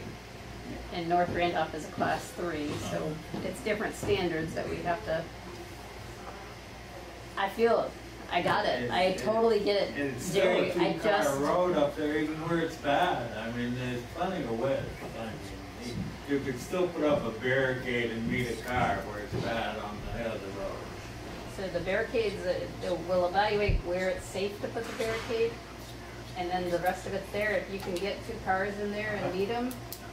But I'm afraid if you got a piece of equipment that's 10, 12 feet wide, Well, I, I, that car width isn't I there. think you could, So but you're, But there's enough visibility there so that You know, you can. you could see, you know, you could make accommodations for meeting somebody, just wait for somebody to go through or whatever. It's, and, uh, so it's gonna be closed from the Rogers Road all the way down to Kibbe Road, so you won't have visual. So in following what we're gonna have to do, under the Right, I guidelines, we're gonna have to but- close it and put it to Yes, one I way. understand. What I you mean, do, Right, I mean, I'll it's- hear it from my house, but I may not see it. Let's Yeah, put it I that way. understand. don't ask, don't tell. How often do you have to go up and down that stretch? Excuse me? How often do you go up and down? I bet some days it's 10, Several 15 times. Several times. times a day? Yeah. Yeah. If you're haying or something, you've gotta keep going with Yeah, different I mean. I have to haul my mower, my tedder, my rake, my baler, and, Mm-hmm. you know, I, Well trod then, yeah. You're up and down. Yeah. Even like Springs, they draw all their feed up and down that road, up in there, so they're gonna have. Yep, they're gonna have to change their route. Oh, it's not a good scene. I totally agree with you. It's not a good scene. I mean, un- unfortunately, there's a process and our hands are tied. See, in the seventies, when I sold on the land for this road originally, I sold the town five acres, I probably know about that. When they put the road up where it is, and they got more land on the right-hand side going up than what they used, because they purchased more land because they said if anything ever happened, they wanted to be able to go that other way more, but of course it's steep there too. Yeah, and, and that's an option, right? Yeah. Like we talked about, you can go over, but, Yeah. and we got retaining walls there too. I would donate whatever land they needed if they wanted to do anything for nothing, if they were gonna do anything more, because it's no value to me, the land that's there, you know. Yep, nice, thank you. Okay. Well, unfortunately, we're gonna be, as we talked about, there'll be studies, there'll be all kinds of good stuff we'll have to do to, to get through it and get what the option is and, and move it, but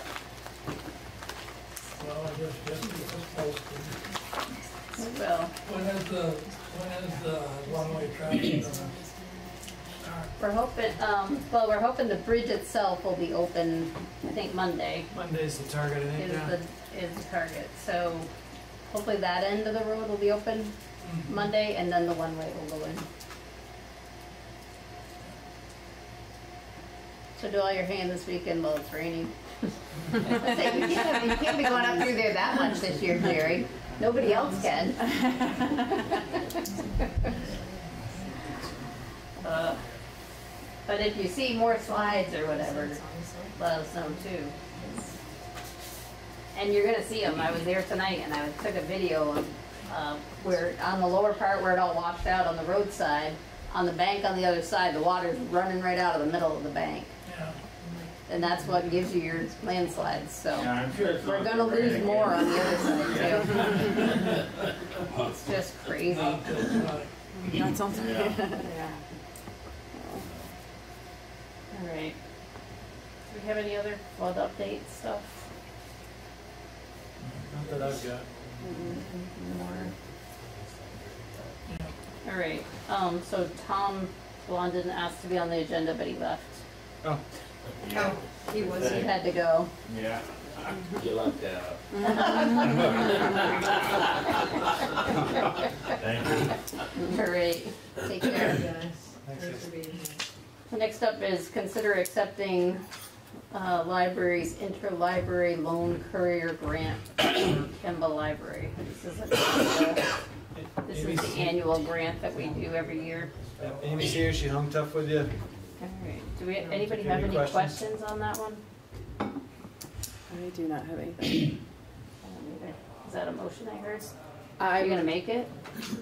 I motion to, um. Second. Okay, yep. Aye. Aye. Forgive Opposed? Motion carries. Consider awarding the Thanks, Amy. paving bid. We ended up with two responses. Oh, the bridge will be weighted at ninety thousand pounds. Wow. Oh, yeah, that'll be good. Sorry, came in a little late. Um, so we had two respondents to our paving bid. Um, we've got a breakdown in your packets. Um, shows you the sort of cost by bidder and by road. Um, so we are proposing to pave, I think it works out to, um, what did I say in the report, how many linear feet are we trying to do this year?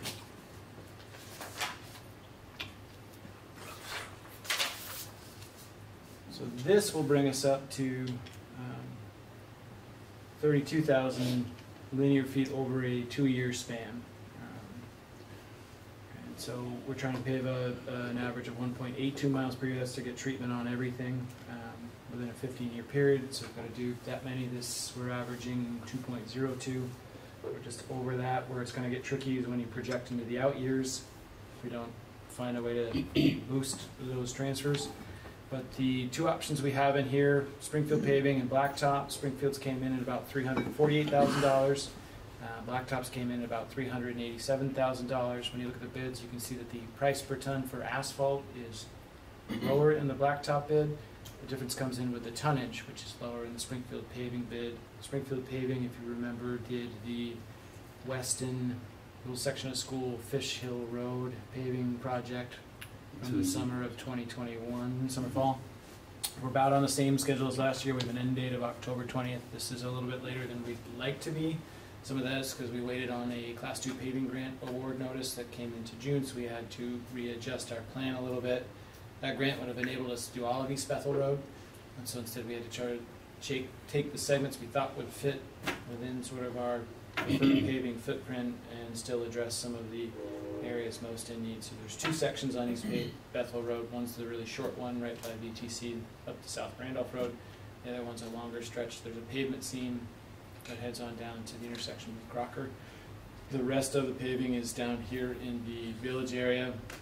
Most of what's proposed will actually finish off, for the most part, finish off from Weston sort of over to the river and back up there. Brooks will have a section knocked off.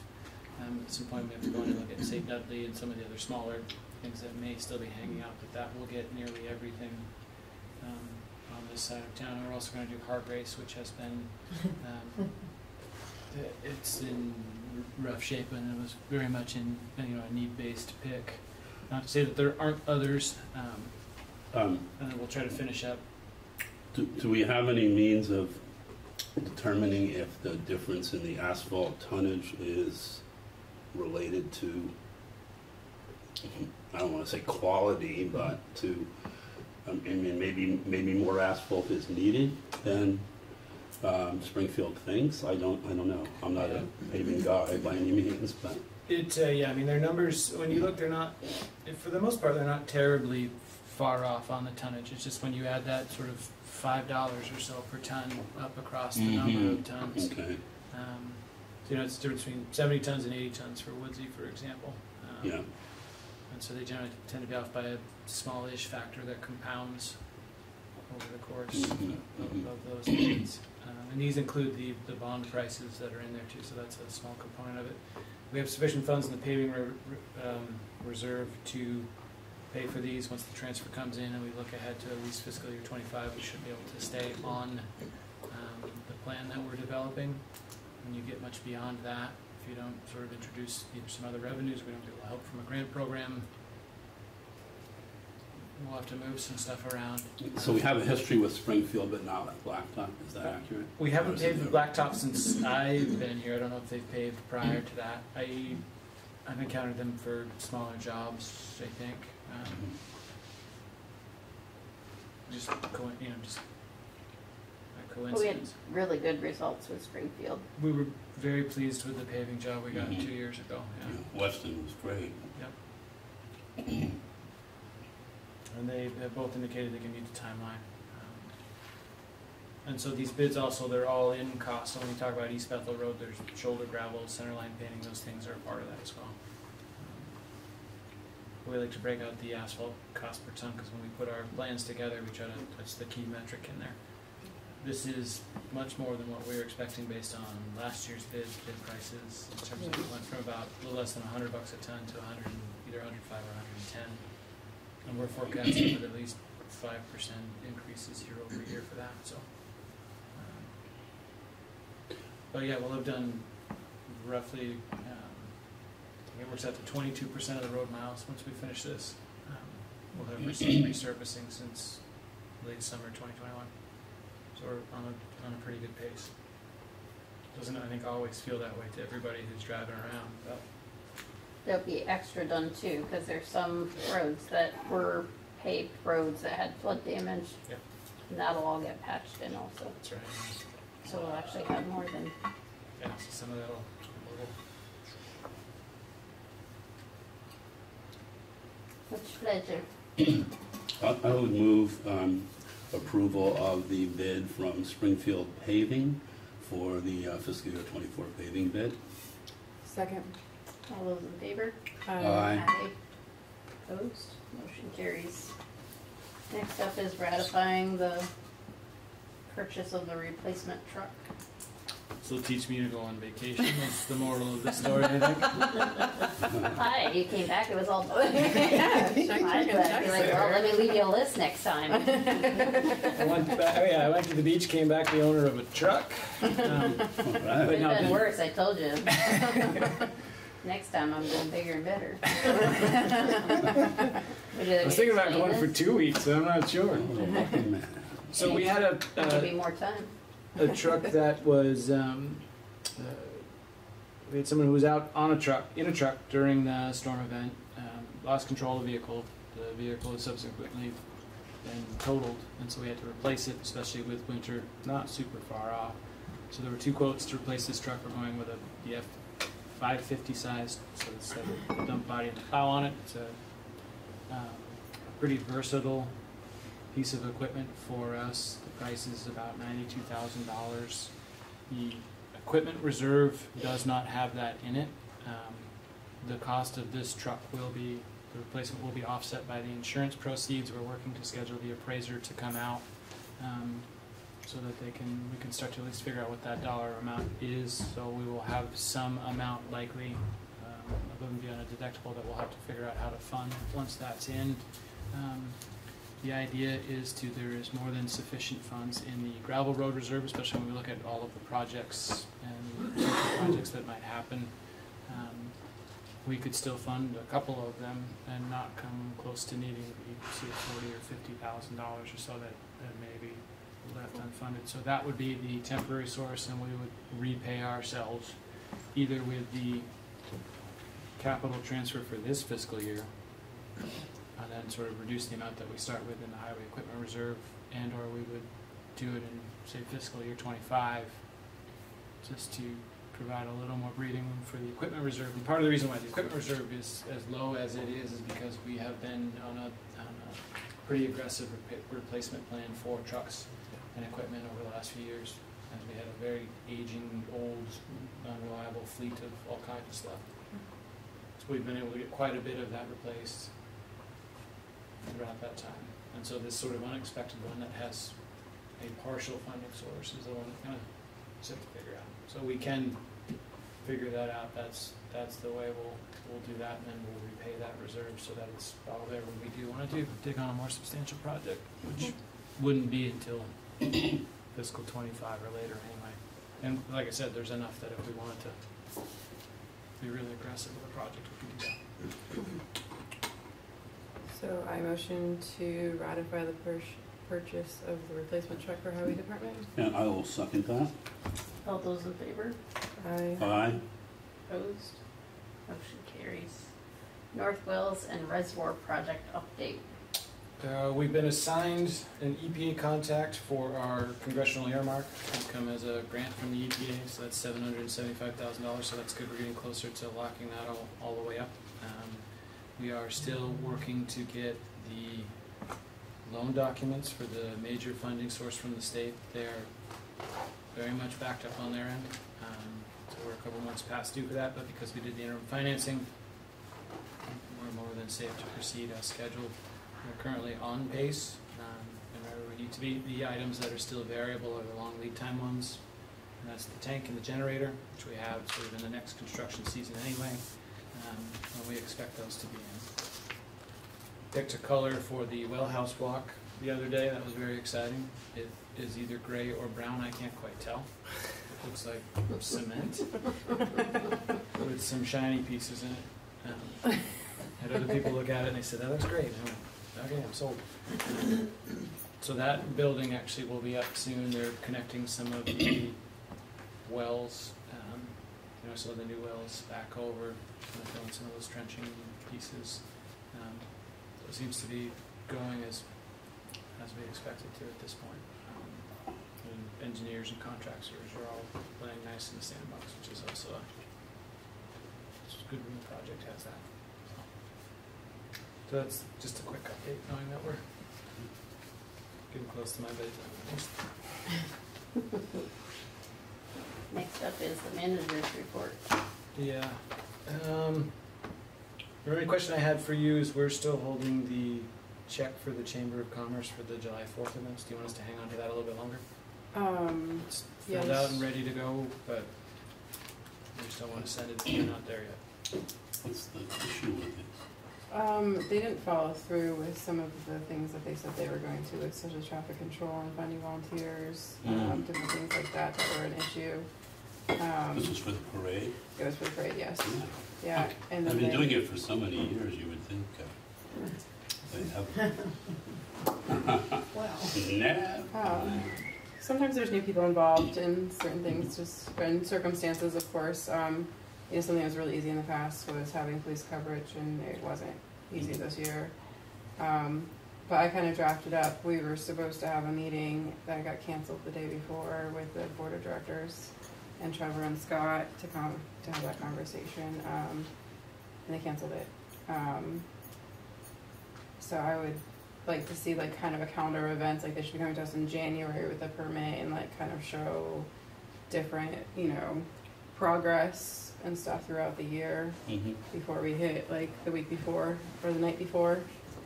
Well, but some of what How we much wanted is to the see check was for? what, what they actually did, that they think was worth twenty-five hundred. Sure, yeah, also, yeah. And the- so the check is for twenty-six ten, it's got the hundred and ten dollar membership, I think is what pushes it, it's twenty-five hundred for the Fourth of For- July. for- Yeah. Um, yeah, Mhm. All right, well, we'll hang it for a little bit.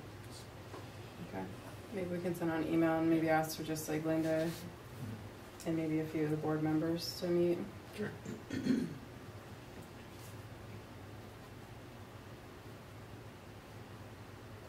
And if you'd like, uh, whoever else would like to come to that party. Um, any, can you give us a quick update on the status of the police services committee, either, either one of you, I guess, Yeah. or either, anyone? I'd just be We've met curious. twice. Yep. Uh, Presented data at the last meeting. Um, From the police department and the s- state police, Yep. presumably, yeah. Well, we kind of went over what that data was, and what was in it, how statistics are captured. I Had a, a conversation about process going forward, what we want to do, kind of the timeline, how we're gonna get there. Budget review. Yeah. Um, So it's sort of three phases, I think. There's sort of the mechanical, getting everyone kind of grounded and ready sort of phase. There's the. the I'm gonna go out on a little bit of a limb here because I'm not on the committee, but I think it would behoove the committee to have a discussion at its next meeting about um, keeping its deliberations within the committee instead of in the pages of Front Porch Forum. Um, I was a little disappointed by the dialogue that went on there last week because when I voted to approve people to be on the committee, it was with the understanding, with, with the hope and expectation that they might come in with an open mind and not an agenda.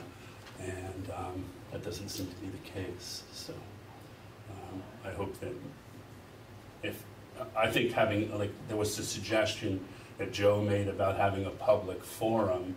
Well, that's what this, that's what this committee's supposed to be. So why not have the discussion there and not in the pages of Front Porch Forum where it just gets contentious and it descends into name calling and it's just, I don't think it's helpful. On, on either part, no matter what side of the issue you're on, it's just not helpful. So I just want to go on record as saying that.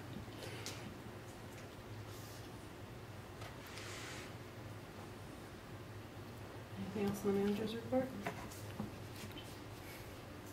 I don't think so. Do we need a deliberative session for the regular select board?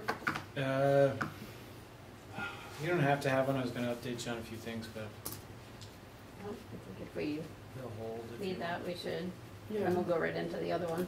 Yeah. Do we have to find, or is this one that we don't have to find?